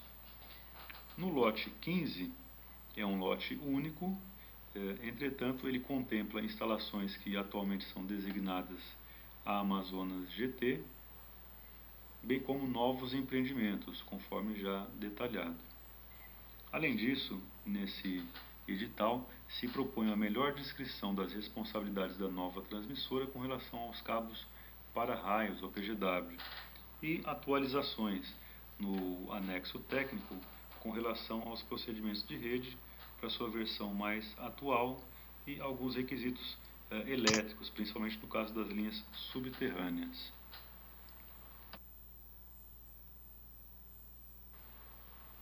Passamos a um resumo das principais atividades previstas no cronograma, que incluem eh, essa reunião de hoje, dia 12 de maio, na qual se delibera sobre a reabertura da consulta pública número 46/2019.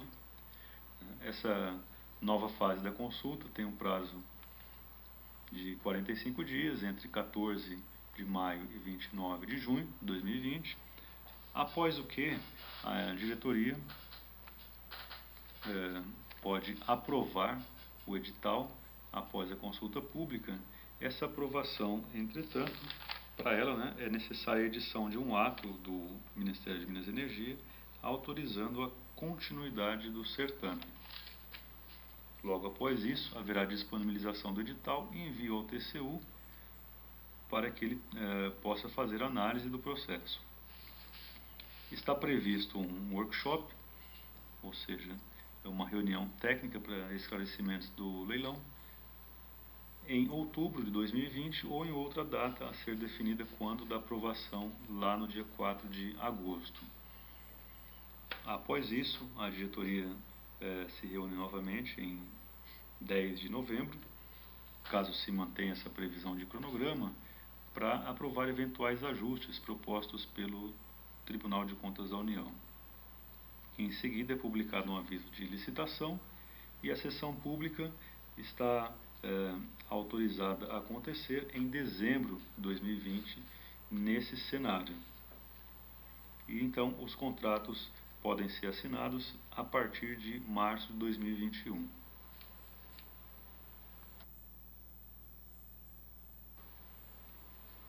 Obrigado a todos e tenham um bom dia.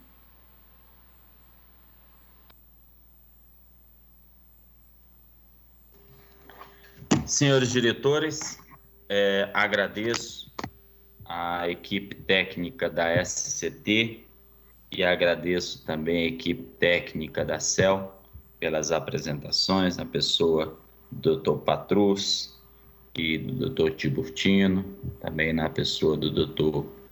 Ivo.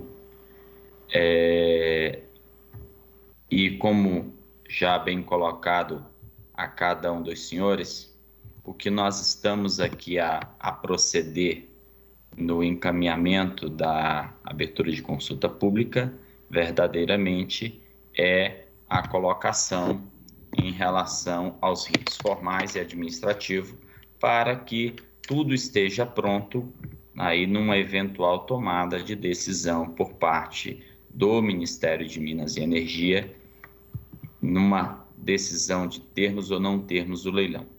Aqui eu gostaria de, de dizer para os senhores que a apresentação ela acabou é, permeando um ambiente é, mais didático do que a própria leitura do voto, o que me permite trazer para os senhores apenas dois pontos aqui antes de finalizar e partirmos para o dispositivo do voto. Uma é a questão que foi trazida com relação à possibilidade da compensação síncrona ou estática na subestação Guaíba 3. E aqui me permitam ler as condições que a gente está levando para CP, né, e que também está no enxerto da nota técnica emitida pelas áreas. O relatório de plano, item 51 da, da do, do voto. O relatório de planejamento que indicou os empreendimentos que compõem o lote 47 indicou também a necessidade de compensação de reativos na subestação Guaíba 3. De acordo com o planejamento, essa compensação se dará por compensadores estáticos de reativos de menos 180 mais 300 MVAR, recomendado para o pátio de 525 kV da subestação 525 230 kV Guaíba 3 mas que, no entanto, haveria possibilidade de uma nova transmissora propor outro equipamento estático ou girante que ofereça o desempenho elétrico equivalente ou superior àquele proporcionado pela alternativa de referência, considerando as mesmas premissas e características da rede utilizadas no estudo do planejamento. Neste contexto, a EPE avaliou a proposta apresentada pelas centrais elétricas brasileiras Eletrobras de conversão das duas máquinas da UTE Presidente Médici fase B em compensadores síncronos, totalizando 180 280 MVAR, e na ocasião a EPS mostrou receptiva ao procedimento proposto, desde que os equipamentos pudessem vir a ser utilizados no pátio 230 kV da subestação 525-230 kV Guaíba 3, visto que poderiam substituir, sob o ponto de vista de desempenho elétrico, a implantação de um compensador estático de reativos conforme definido no R1. Ressaltando-se ainda que, segundo informações da Eletrobras, os, os compensadores síncronos seriam praticamente novos, apresentando uma vida útil mínima de 30 anos. Assim, na visão da EP, as duas opções poderiam ser consideradas como possibilidade de compensação de reativos na subestação Guaíba 3, onde os empreendedores poderiam considerar a oportunidade de negociar com a Eletrobras a utilização dos compensadores síncronos resultantes da conversão das máquinas da UTE Presidente Médici fase no setor B de 230 kV, vis-à-vis a aquisição de um novo equipamento estático ou girante, síncrono no setor de 500 kV. Nada obstante, a SCT e a CEL registraram que, além de esperar contribuição não apenas à conveniência e à oportunidade, mas também quanto à possibilidade de negociar a utilização dos compensadores síncronos da UTE Presidente Médici, fase B, com a Eletrobras com a Eletrobras, conste do edital também, que irá também diligenciar no sentido de obter, durante a nova etapa da consulta, esclarecimentos adicionais do planejamento setorial. Então, esse é um ponto que estava em discussão, a gente acabou tabulando algumas conversas com o Ministério de Minas e Energia, o que a gente traz para consulta pública, mas que a gente ainda vai é, receber as contribuições e não há um indicativo por parte da agência quanto a acatar ou não acatar esse ponto colocado pela EP, mas que causa aí uma novidade no nosso leilão. Então, a gente está trazendo para consulta pública e a gente vai estar tá decidindo no fechamento dessa consulta pública. Um outro ponto trazido também pelo grupo Eletrobras por meio da Eletronorte diz respeito à questão da participação do leilão, no sentido a cláusulas específicas no edital, no tocante à questão de habilitação, da possibilidade de participação do leilão, tendo em vista declarações de caducidade. Entendemos também por receber a carta do Grupo Eletronorte e estaremos inserindo no processo como contribuição e estaremos também a decidir ao final do processo. Né?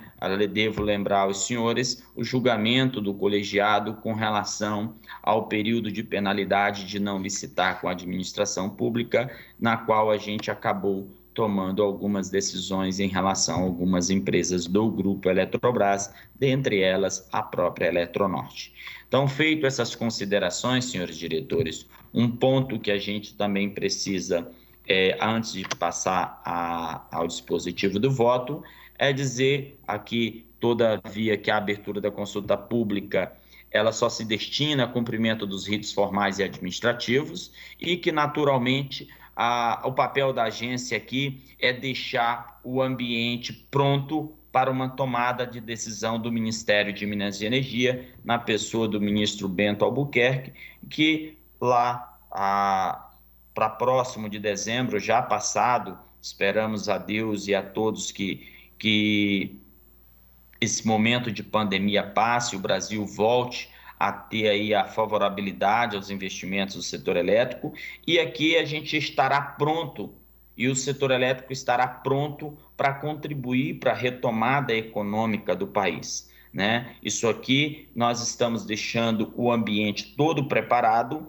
para que assim que nós sairmos desse movimento de pandemia, assim que nós sairmos dessa crise, assim que nós sairmos dessa, desse movimento de isolamento social e de alguns lockdowns que estão sendo aí é, determinados em estados, o setor elétrico ele estará pronto para contribuir com a retomada econômica do país, com aquilo que ele sempre soube fazer, né? Licitar obras de grande porte e essas obras induzem aí a desenvolvimento, a geração de empregos. Só nesse leilão a gente está falando em aproximadamente 22 mil empregos, o que naturalmente nós poderemos estar tá contribuindo com a retomada econômica do país. Então, o nosso foco aqui devemos lembrar que o leilão ele está suspenso sine die, ou seja, por tempo indeterminado, e que a agência está apenas a preparar o ambiente necessário para a realização do leilão assim que o governo tomar uma decisão quanto à conveniência e oportunidade de termos esses leilões, até porque é no racional de um momento econômico que o país está vivenciando, se nós teríamos atratividade, se nós teríamos participação. Então, essa é uma decisão que ela é incumbida ao Ministério de Minas e Energia, juntamente com a empresa de pesquisa energética, que irá subsidiar a tomada de decisão, e também Assim que o Ministério tomar a decisão, a gente retoma esse processo, mas a gente vai estar já numa fase avançada e pronta para a realização do leilão. Então, feitas essas considerações, senhores diretores, passo ao dispositivo do voto. Considerando o exposto e o que consta no processo 48.500-5211-2019-42, voto por instaurar a segunda fase da consulta pública número 46 de 19, exclusivamente por intercâmbio documental, entre 14 de maio de 20 e 29 de junho de 20, totalizando 45 dias, com vistas a colher subsídios e informações adicionais para o aprimoramento do edital do leilão de transmissão número 1 de 20, contemplando os novos lotes e os novos prazos para o leilão número 1 de 2020, ANEL, relativo às instalações de transmissão de energia elétrica localizadas nos estados do Amazonas, Bahia, Ceará, Espírito Santo, Goiás, Mato Grosso do Sul, Paraná, Rio Grande do Sul, Santa Catarina e São Paulo. É o voto, senhores diretores. Em discussão.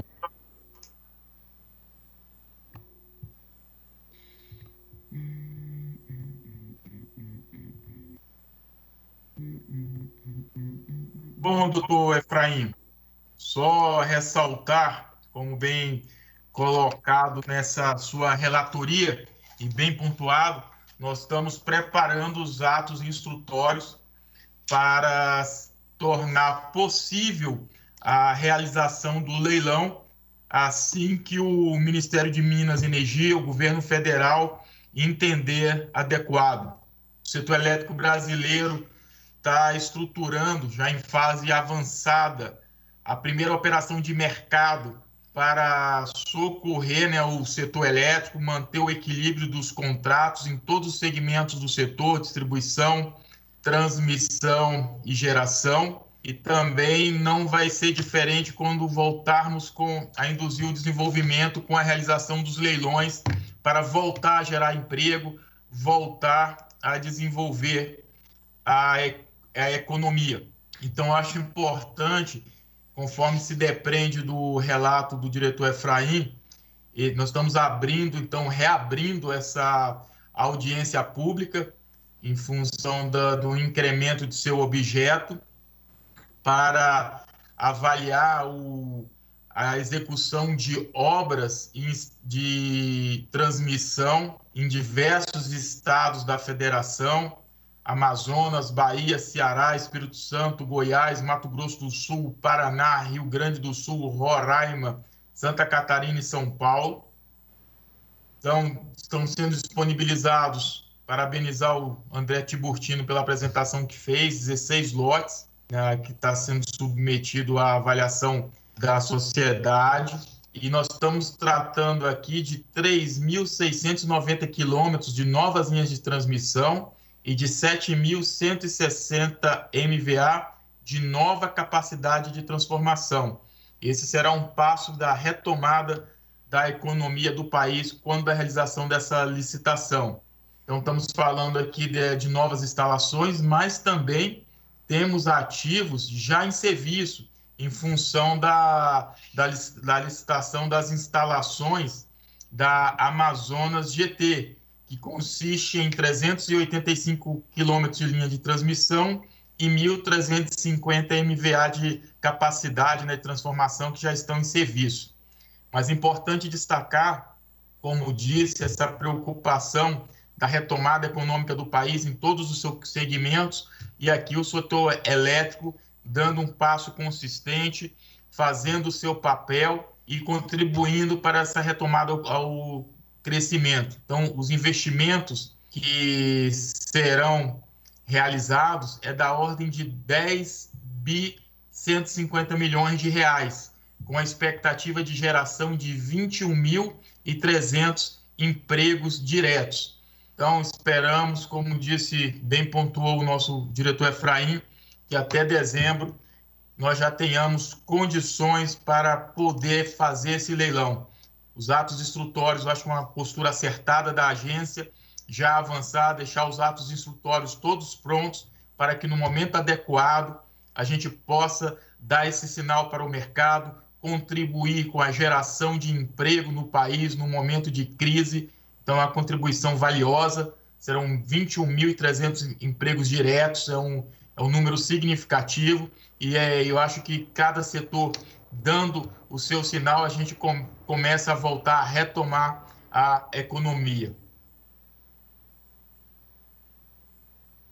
Seriam essas as considerações? Algum ponto mais? Então, em votação. Eu acompanho o voto do diretor relator. Também voto com o relator. Também voto com o relator e proclamo que a diretoria da ANEL, por unanimidade, decidiu instaurar a segunda fase da, da consulta pública 46-2019, exclusivamente para o intercâmbio documental, entre 14 de maio de 2019 e 29 de junho de 2020, ou seja, 14 de maio de 2020 a 29 de junho de 2020, totalizando 45 dias, com vista a colher subsídios e informações adicionais para o aprimoramento edital de leilão 1 2020, contemplando os novos lotes e os novos prazos para o leilão 1 2020, relativa a instalações de transmissão de energia elétrica localizadas no estado do Amazonas, Bahia, Ceará, Espírito Santo, Goiás, Mato Grosso, Paraná, Rio Grande do Sul, Santa Catarina e São Paulo. Próximo processo. Peraí. Próximo processo seria o, o item 5, que é o último da pauta, né? Perguntar ao doutor Efraim, relator do processo, se temos condições de deliberar agora. Estamos aptos. Então, seu secretário, pode enunciar.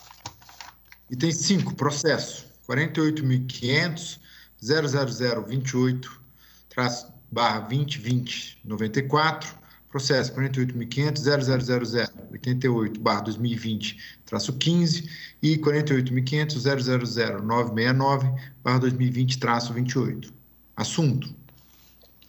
Requerimento administrativo interposto pela Copel Geração e Transmissão SA, Copel GT, e pela Copel Distribuição SA, Copel DIS, com vistas à celebração de contratos com parte relacionada e transferência de bens da Copel Telecomunicações SA, Copel Telecom, a Copel DIS e a Copel GT, condicionada à aprovação de celebração de contratos de cessão de direito de uso e infraestrutura entre essas empresas. Diretor relator Efraim Pereira da Cruz.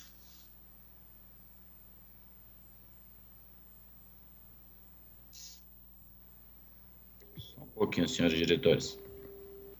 Efraim, gentileza, passa o voto por e-mail para os diretores.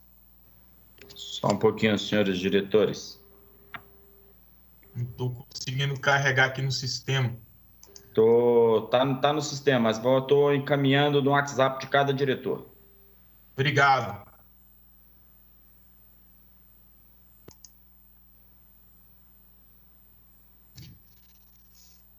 Considerem o último, o último que eu estou encaminhando no WhatsApp de vocês, haja vista algumas mudanças que foram é, proferidas aqui. Só um segundinho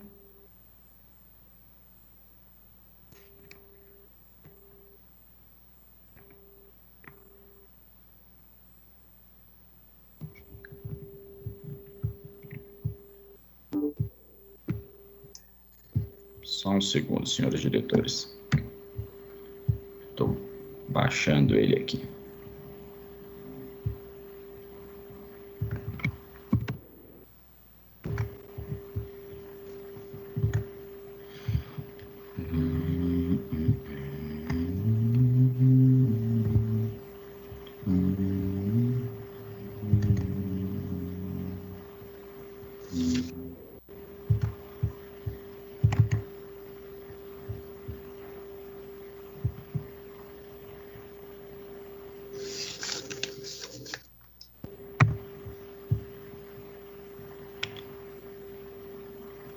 Processo 48.500.0028 de 2000. De 2020, traço 94. Processo 088 2020 traço 15, 969 20 traço 28, Copel Distribuição, Copel Geração e Transmissão e Copel Telecomunicações. A Companhia Paranaense de Energia Copel Holding possui cinco subsidiárias integrais: a Copel Geração e Transmissão, Copel GT, a Copel Distribuição Copel D e a Copel Comercialização. São voltadas ao processo de produção, transporte, venda e entrega de energia elétrica de geração hídrica. A Copel Renováveis, por sua vez, é destinada à geração, transmissão e comercialização de energia oriunda de fontes renováveis. Por fim, a Copel Telecomunicações, chamada de Copel Telecom, responsável por explorar a infraestrutura de telecomunicações em serviços específicos. A Copel GT é concessionária de serviço público de geração e transmissão de energia elétrica, conforme contratos de concessão 45 de 99, 6 de 2008, 1 de 2011, 2 de 2012 e 22 de 2012 e 7 de 2013. A COPEUD, por sua vez, é concessionária de serviço público de distribuição de energia elétrica nos termos do contrato 046 de 99. Por meio de uma série de correspondências protocoladas em entre 6 de dezembro de 19 e 31 de março de 20, a Copel GT, a Copel D e a Copel Telecom solicitaram anuência da ANEL para transferência de propriedade de cabos para raios OPGW da Copel Telecom instalados sobre linhas de transporte de energia elétrica para a Copel D e para a Copel GT. Transferência de propriedade de torres de comunicação da Copel Telecom para a Copel D, onde atualmente já estão instalados equipamentos da Copel Telecom bem como serão instalados ativos de rádio backbone de acesso, antenas, unidades de rádio indoor, outdoor, cabos e guias de onda para a prestação do serviço de telecomunicação. E a celebração de contrato de cessão recíproca de direito de uso de fibras óticas que garanta o direito de uso pela Copel D e pela Copel GT das fibras óticas dos cabos backbone AS, que é os autossustentados, da Copel Telecom em troca do direito de uso pela Copel Telecom de montante, valor unitário e quantidade equivalente de fibras ópticas do cabo PGW que serão transferidos para a Copel D e para a Copel GT. E também a celebração de contrato de cessão de uso do espaço em estações de rádio e torres de comunicações pela Copel D para a Copel Telecom e também a celebração de contratos de prestação de serviços de data center e tecnologia da informação entre Copel D, Copel GT e Copel Telecom. E também a celebração de contrato de prestação de serviços de comunicação multimídia, o que chamamos de SCM, entre Copel D, Copel GT e Copel Telecom. Os pleitos A, B, C e D foram avaliados pela Superintendência de Concessões e Permissões e Autorizações de Transmissão da Distribuição SCT e pela Superintendência de Fiscalização Econômica e Financeira SFF e também pela SRD e Superintendência de Gestão Tarifária SGT. Por meio da nota técnica 165 de 20, SCT, SFF, SGT e SRD as áreas técnicas recomendaram que a diretoria acate os pedidos das interessadas, apresentando para tal algumas ressalvas e sugestões de melhorias para as minutas dos contratos.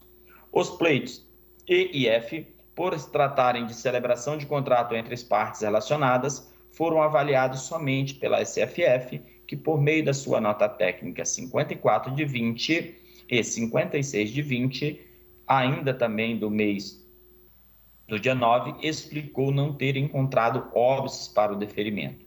Já em 13 de abril de 20, os processos foram distribuídos por sorteio à minha relatoria. Por demanda de minha assessoria, a Procuradoria Federal junto à ANEL se manifestou sobre o tema diante do parecer 143 de 2020, aprovado também pelo despacho 282 da mesma data. A Procuradoria opinou pela aprovação da proposta de transferência de ativos da Copel Telecomunicações para a Copel Distribuição e para a Copel Geração e Transmissão nos termos recomendados, e aqui crava a nota técnica 165 de 2020, assinada pela SCT, SFF, SGT e SRD. É o relatório, senhores diretores. Procuradoria.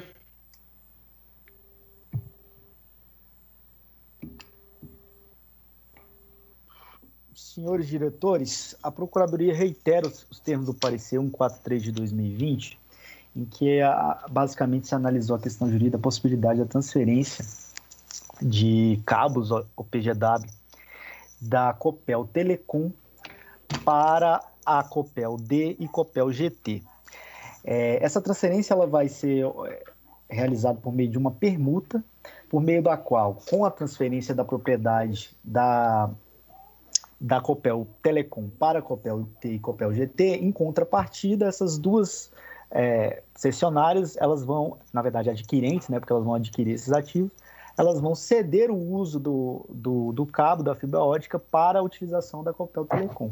E a dúvida, basicamente, era se é, se esse, se esse arranjo contratual lhe feria de, em, algum, em alguma medida a Resolução Normativa Conjunta 001 de 1999. E o que a Procuradoria, após analisar o caso, entendeu é que não se aplica aqui nenhuma vedação da Resolução Normativa 01 de 99, tendo em vista que a, a, o compartilhamento da infraestrutura está se dando do, do, na, no, na via contrária da é, da empresa de telecomunicação para a empresa distribuidora, para a concessionária de distribuição. Então, sendo assim, como é, não está havendo compartilhamento propriamente da distribuidora para a, a, de telecomunicações, mas sim da telecomunicações para a distribuidora, que não é o caso aqui de se aplicar a resolução normativa 001, que trata de compartilhamento de instalações de, de, de distribuição para é, é, empresas de telecomunicações. Por isso que a, a, a, Procuradoria entende, até porque o contrato de permuta também é um contrato oneroso, que não, não tá, é, incidiria na vedação que já foi reafirmado pela Procuradoria, que o compartilhamento de infraestrutura, por exemplo, não pode ser um contrato gratuito, que é, essa operação, ela é, é, acompanhando o entendimento da, também das áreas técnicas, tanto da, SCT quanto da SFF, que é uma operação juridicamente possível. Senhores diretores, o, o, as, as áreas técnicas elas têm uma apresentação para ser passada a todos os demais diretores e eu solicito por parte da, do Ricardo e nosso secretário-geral que seja feita a inserção dos vídeos da apresentação técnica das áreas para que cada um dos diretores possam aí ter um conhecimento de forma mais didática e do, do da, por mais que seja complexo, a gente está falando em várias transferências, mas para a gente ter uma visão aí do que, que estamos aqui nessa sentada é, aprovando.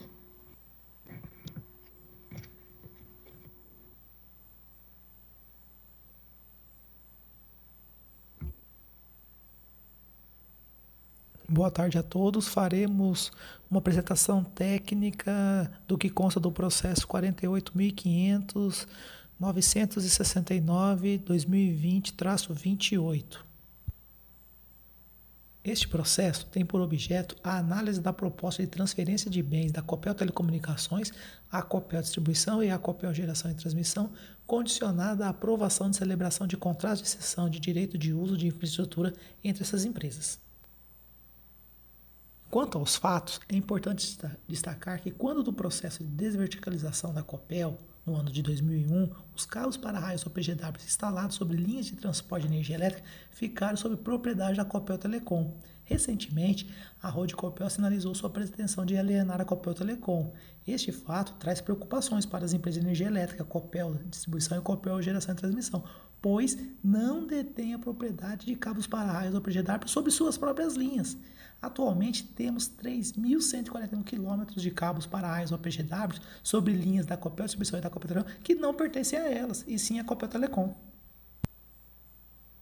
Com esse iminente risco advindo de uma possível venda da Copel Telecom, a Copel Hold desenhou a seguinte operação proposta para a anuência da ANEL transferência de propriedade de cabos para raios OPGW da Copel Telecom instalados sob linhas de transporte de energia elétrica para a Copel Distribuição e para a Copel GT e condicionar essa transferência à celebração de um contrato de cessão recíproca de direito de uso de fibras óticas que garanta o direito de uso pela Copel Distribuição e pela Copel GT de parte das fibras óticas dos cabos backbones AS da Copel Telecom, em troca do direito de uso pela Copel Telecom de montante equivalente à parte das fibras óticas dos cabos OPGW que serão transferidos para as empresas de energia elétrica. Além disso, propõe à Copel Hold a transferência de propriedade de torres de comunicação da Copel Telecom para a Copel DIS, condicionada à celebração de contrato de cessão de direito de, de uso de espaço em estações de rádio e torres de comunicação entre a Copel Distribuição e a Copel Telecom. Quanto à transferência dos cabos para a raio PGW, esse slide ilustra um resumo de toda a operação proposta. Vejamos, a Copel Telecom irá transferir 1.006 km de cabo para a PGW para a Copel GT. Esses cabos são aqueles que estão sobre as linhas da Copel GT. Da mesma forma, a Copel Telecom irá transferir 2.135 km de cabo para a PGW para a Copel Distribuição. Esses cabos para são aqueles que estão sobre as linhas de propriedade da Copel Distribuição. E condicionado a essa transferência, a Copel GT e a Copel Distribuição irá fazer a cessão de direito de uso para a Copel Telecom das fibras apagadas desses cabos transferidos. E a Copel Telecom cederá o uso das fibras dos cabos backbones AS para a Copel GT e Copel Distribuição. Da análise. É desejável que esses 3.141 km de cabos para raios OPGW sejam transferidos para a Copel DIS e para a Copel GT, pois são ativos intrínsecos à própria prestação de serviço público de energia. O arranjo proposto garantirá à Copel DIS e à Copel GT a propriedade de 100% dos cabos para raios OPGW instalados sobre suas linhas de transporte de energia, o acesso ao uso de fibras óticas dos cabos backbones AES da Copel Telecom, proveniente de permuta de fibras óticas para os seus pontos de interesse, e a cumulatividade entre a utilização das diferentes tecnologias, em contrapartida do direito de uso da Copel Telecom de montante equivalente de fibras óticas dos cabos para raios OPGW ora transferidos do tratamento contábil. A SFF, em analisar a operação proposta, ponderou que, para que se atenda à premissa econômica da operação, de não haver repercussão tarifária aos consumidores de energia, a transferência dos ativos à Copel Distribuição e à Copel GT deverá ser realizada na forma de doação dos ativos. Essa neutralidade estará refletida contabilmente pelo registro do recebimento dos ativos como obrigações especiais, conforme dispõe o Manual de Contabilidade do Setor Elétrico. Com relação à transferência dos cabos para o PGW, vamos destacar aqui o tratamento tarifário dado. Incorporação na base de remuneração regulatória. Aqui, a transferência dos ativos é sem ônus para as empresas, de modo que não há que se falar em remuneração de capital e de cota de reintegração regulatória. Cobertura dos custos operacionais. Os custos operacionais são definidos regulatoriamente no período entre revisões e não implica, nesse momento, em sua reavaliação. Compartilhamento de outras receitas para a modicidade tarifária. Aqui cabe uma explanação mais detalhada.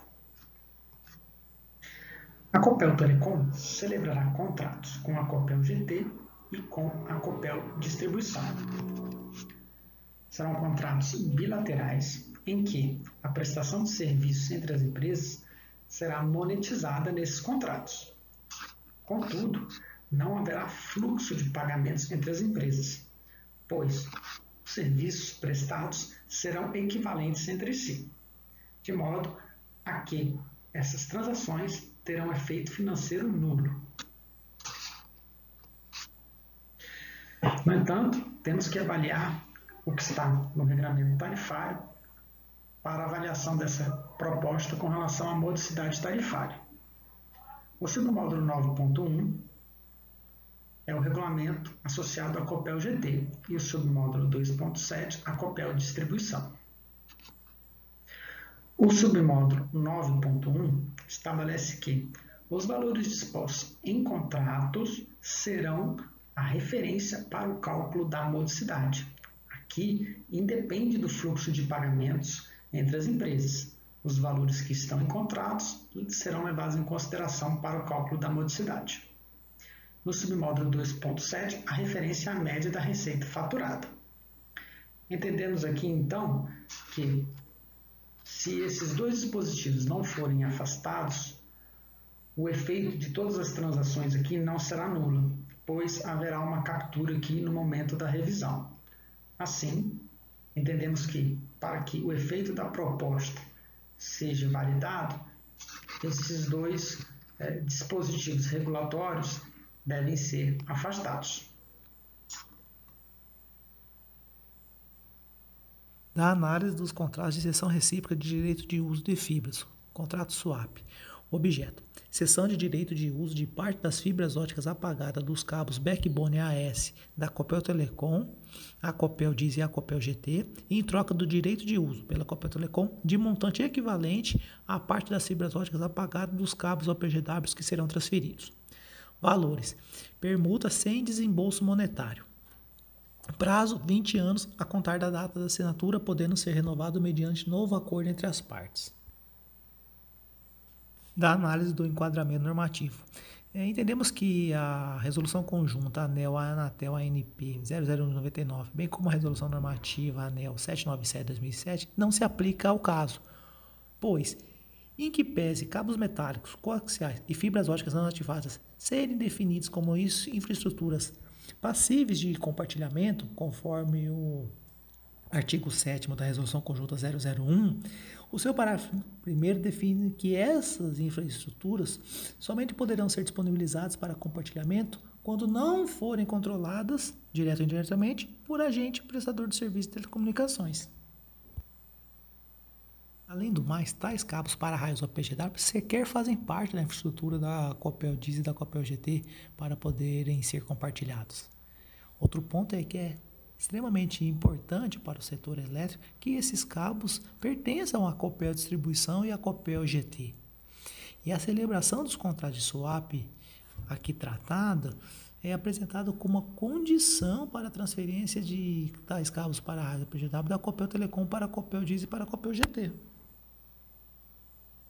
Portanto, não sendo aplicáveis o Regulamento Conjunto 001 e a Resolução Normativa 797, principalmente nas questões de preço, publicidade e homologação contratual, a área técnica não visualiza óbice para aprovação das minutas de contratos de swap, pois há o respeito pela maior parte das diretrizes de tais normas, usando-as como referência, o que possibilita afirmar que as condições contratuais não são abusivas.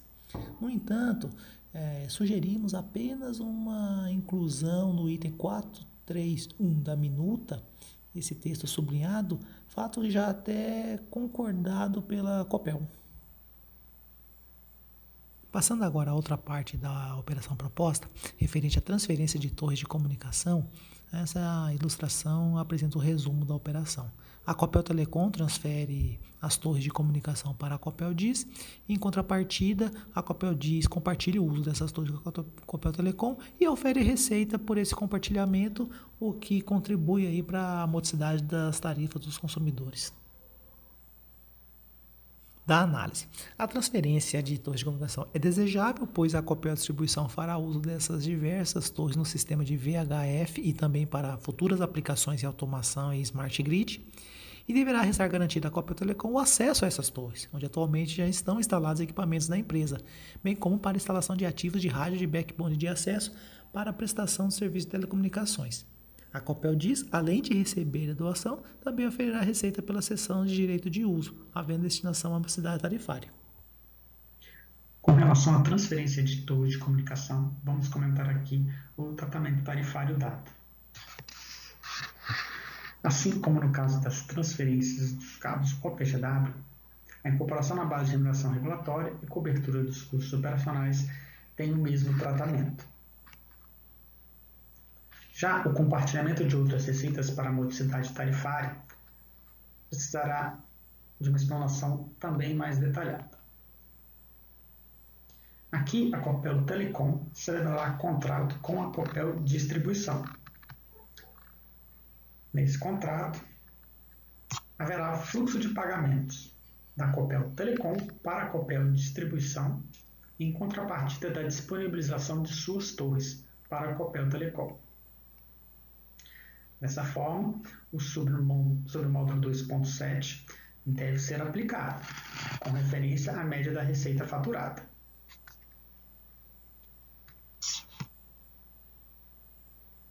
Da análise do contrato de cessão de uso de espaço em estações de rádio e torres de telecomunicações. Objeto: outorga pela Copel diz a Copel Telecom de direitos de uso de espaço limitado localizados em sites em que os equipamentos estão ou serão instalados. Os valores, aí sim, com desembolso monetário, gira da ordem de 1 milhão 911 mil, o que resulta aí num valor mensal estimado aí de mais de R$ 63.700. O prazo estimado do contrato é de 30 meses da data da sua assinatura, podendo ser prorrogado. Também neste caso, entendemos da impossibilidade de aplicação do Regulamento Conjunto 001 e da Resolução Normativa 797, pois Embora torres seja definida como uma infraestrutura passível de compartilhamento, elas sequer fazem parte dos ativos da Copel Distribuição para poderem ser compartilhadas. Além disso, é relevante para o setor elétrico a transferência dessas torres para a Copel Distribuição. Outra questão é que a celebração desse contrato de cessão de, de uso é apresentada como uma condição para que tais torres sejam transferidas. Assim, da mesma forma que para o contrato swap apresentado anteriormente, não encontramos óbitos para aprovação da minuta de contrato de cessão de uso de espaço em estações de rádio e torres de comunicação, o que possibilita afirmar que as condições contratuais não são abusivas.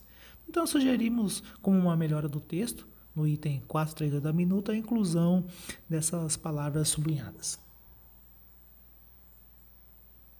Por todo o exposto, recomendamos à diretoria da ANEL anuir com as transferências de propriedade de cabos para raios ou PGWs da Copel Telecom para a Copel Distribuição e para a Copel GT e de torres de comunicação da Copel Telecom para a Copel Distribuição, aprovar as minutas de contratos de cessão recíproca de direito de uso de fibras óticas apagadas, contrato swap, e o contrato de cessão de uso de espaço em estações de rádio e torres de telecomunicações, tendo em vista o benefício decorrente da transferência de ativos de cabos para raios ou PGW da Copel Telecom à Copel Distribuição e à Copel GT, bem como de ativos de torres de comunicação à Copel Distribuição.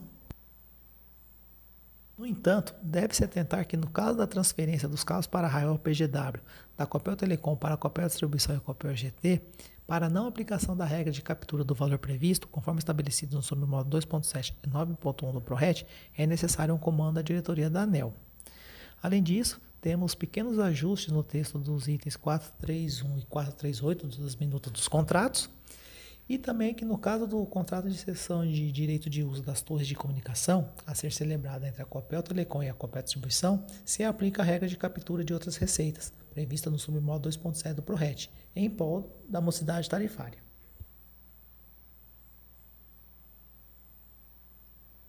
Bom dia a todos, meu nome é Enos Paulo, sou especialista em regulação, lotado na SFF e coordenador da equipe de anuência prévia. Primeiramente, gostaria de dizer que é uma satisfação poder fazer essa apresentação à diretoria colegiada da ANEL. Esta demanda trata-se de um pedido da COPEL para celebrar dois contratos entre partes relacionadas. Dessa forma, para esses dois pedidos foram abertos dois processos e efetuadas duas análises. Quais são os processos?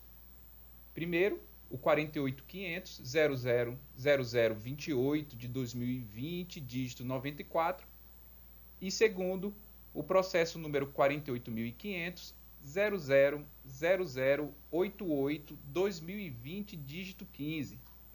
Esses dois processos foram distribuídos em conexão com o processo número 48500 000969 de 2020, dígito 28, que é o de transferência de ativos instruído pela SCT com o auxílio de outras áreas.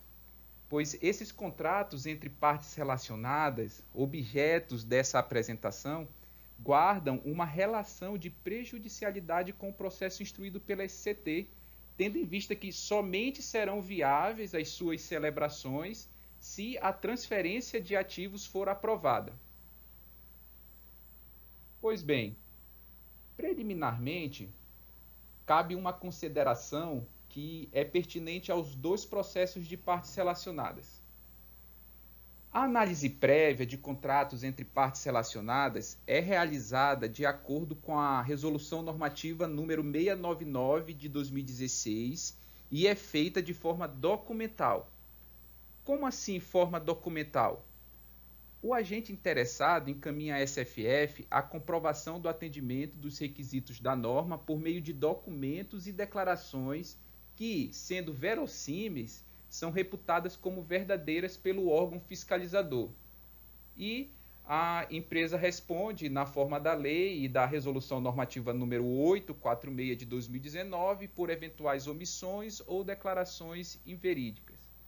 Dessa forma, Atendidos os requisitos da Resolução Normativa número 699, a anuência prévia é concedida e o agente pode celebrar o seu contrato entre partes relacionadas conforme apresentado. A partir daí, essa operação fica sujeita ao controle a posteriori da ANEL. Em relação ao mérito dos contratos, eles foram apresentados na modalidade de prestação de serviços, e o contrato analisado no âmbito do processo número 48500 000028 2020 dígito 94 tem como parte contratante a Copel Telecomunicações SA, que é a Copel Telecom, e como partes contratadas a Copel Distribuição e a Copel Geração e Transmissão. O objeto deste contrato é a prestação de serviços de data center e tecnologia da informação. O seu valor mensal é de aproximadamente ou equivalente a 1.170.840 reais e 54 centavos. E o seu valor global é 7 milhões 43 mil 43 reais e 27 centavos. E o seu prazo de vigência é seis meses contados a partir da assinatura. Essas características elas estão de acordo com os requisitos estabelecidos na Resolução Normativa número 699 de 2016. E o contrato analisado no âmbito do processo número 48500 000088 de 2020, dígito 15, tem como parte contratada a Copel Telecomunicações SA, que é a Copel Telecom, e como partes contratantes a Copel Distribuição e a Copel Geração e Transmissão. O objeto desse contrato é a prestação de serviços de comunicação multimídia, e o seu valor mensal para a Copel Distribuição é de R$ 1.874.854,48. E para a Copel GT, R$ 347.807,74. E o seu prazo de vigência é de 30 meses contados a partir da assinatura. Cabe aqui ressaltar uma exigência que a resolução normativa número 699 estabelece, que é a da comutatividade. A comutatividade é a verificação se o contrato apresenta preços compatíveis com os de mercado. E no intuito de comprovar esta exigência de comutatividade, a interessada declarou nos autos do processo que, na qualidade de ente da administração pública, está sujeita aos ditames da Lei de Licitações número 8666 e que no trâmite do processo licitatório houve a conclusão pela inexigibilidade de, de licitação, declarando assim no processo a inviabilidade de competição para a contratação da operação. Cabe aqui destacar que esse procedimento licitatório também está sujeito à fiscalização de outros órgãos de controle, como o Tribunal de Contas do Estado do Paraná e o Ministério Público. Nessa hipótese, embora a interessada entendesse pela inviabilidade da competição, ela juntou ao processo um quadro resumo da comutatividade em que demonstra a priori que a contratação se dará com benefício às concessionárias Copel Distribuição e Copel Geração e Transmissão. Dessa forma, diante dos documentos e fatos apresentados pela Copel, a SFF não observou óbices à anuência prévia das operações, conforme elas foram apresentadas, e recomenda a sua aprovação. Essa é a apresentação da SFF. Obrigado pela atenção.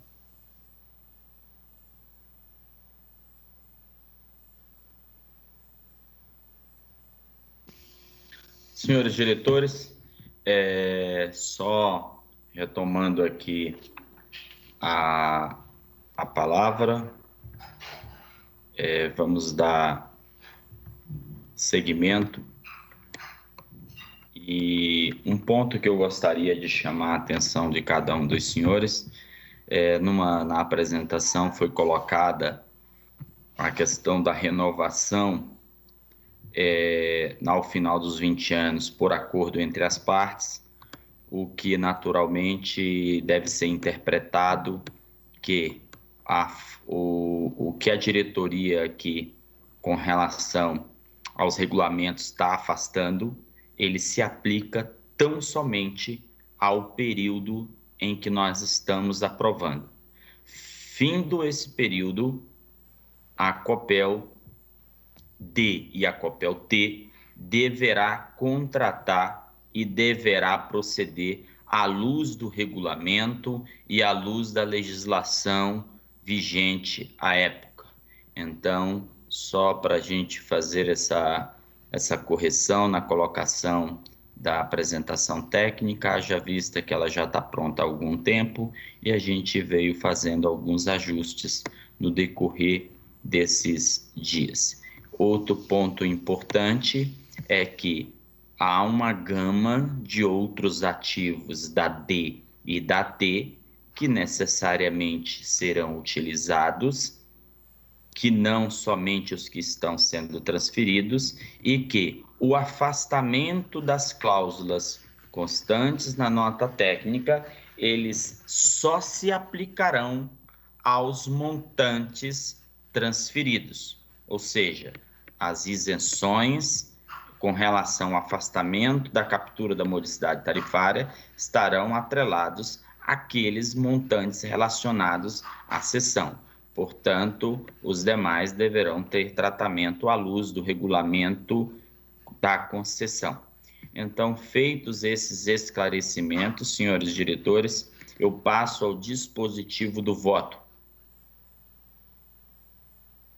Com apoio nessa fundamentação e no que consta no processo número 48.500 028 2020-94, 48500 088 2020-15, 48500 969 2020-28, voto por anuir com as transferências de propriedades de cabos para raios OPGWs da Copel Telecom para a Copel D e para a Copel GT, nos termos detalhados na nota técnica 165 de 8 de abril de 2020, determinar que os ativos escritos no item 1 nos, nos processos tarifários da Copel D e da Copel GT não deve ser aplicada a regra de captura dos valores estabelecidos no submódulo 2.7 e 9.1 do PRORET, anuir com a celebração de contratos de cessão recíproca de direito de uso de fibras ópticas entre Copel Telecom e Copel D e entre Copel Telecom e Copel GT pelo prazo de 20 anos, sem possibilidade de renovação nos termos das minutas anexas. Anuir com as transferências de propriedade de torres de comunicação da Copel Telecom para a Copel D nos termos detalhados na nota técnica 165 de 2020 da SFF, SGT, SRD, ANEL de 8 de abril de 2020, anuir com a declaração de contrato de cessão de uso de espaço em estações de rádio e torres de comunicação entre a Copel Telecom e a Copel D pelo prazo de 20 anos, sem possibilidade de renovação nos termos da minuta anexa, anuir previamente com a celebração de contrato de prestação de serviço da data, do data center e tecnologia da informação entre as partes relacionadas Copel Telecom, Copel D e Copel GT nos termos da minuta anexa e anuir previamente com a celebração de contrato de prestação de serviço de comunicação multimídia entre as partes relacionadas Copel Telecom, Copel D e entre as partes relacionadas Copel Telecom e Copel GT nos termos da minuta anexa. Senhores diretores, esse é o voto. Em discussão,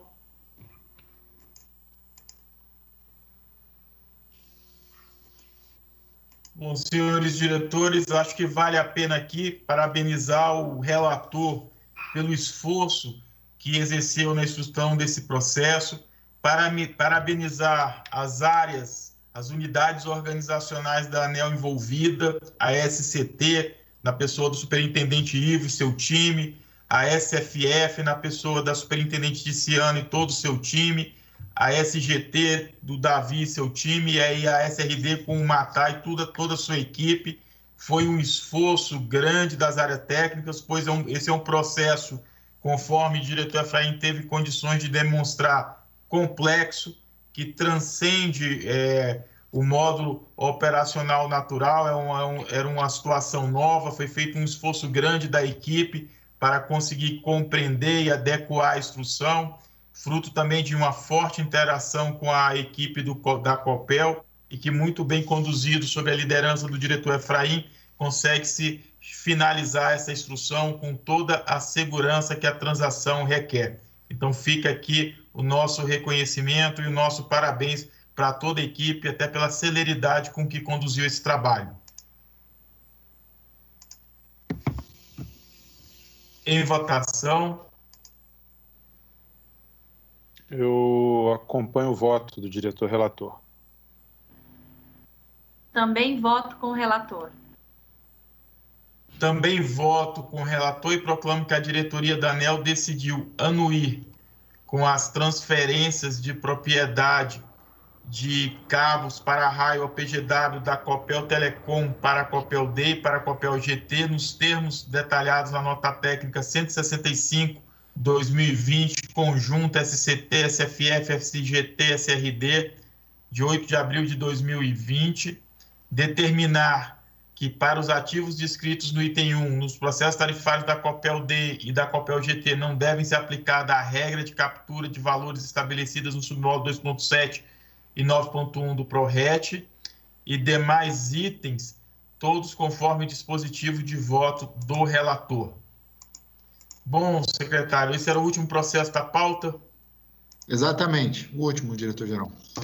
Então, sendo esse o último processo da pauta, agradeço a todos que nos assistem, desejo que muita saúde, que continuem se cuidando e cuidando aqueles que, que são queridos, e declaro encerrada a 16ª reunião pública ordinária da diretoria da ANEL de 2020. Boa tarde a todos, bom almoço.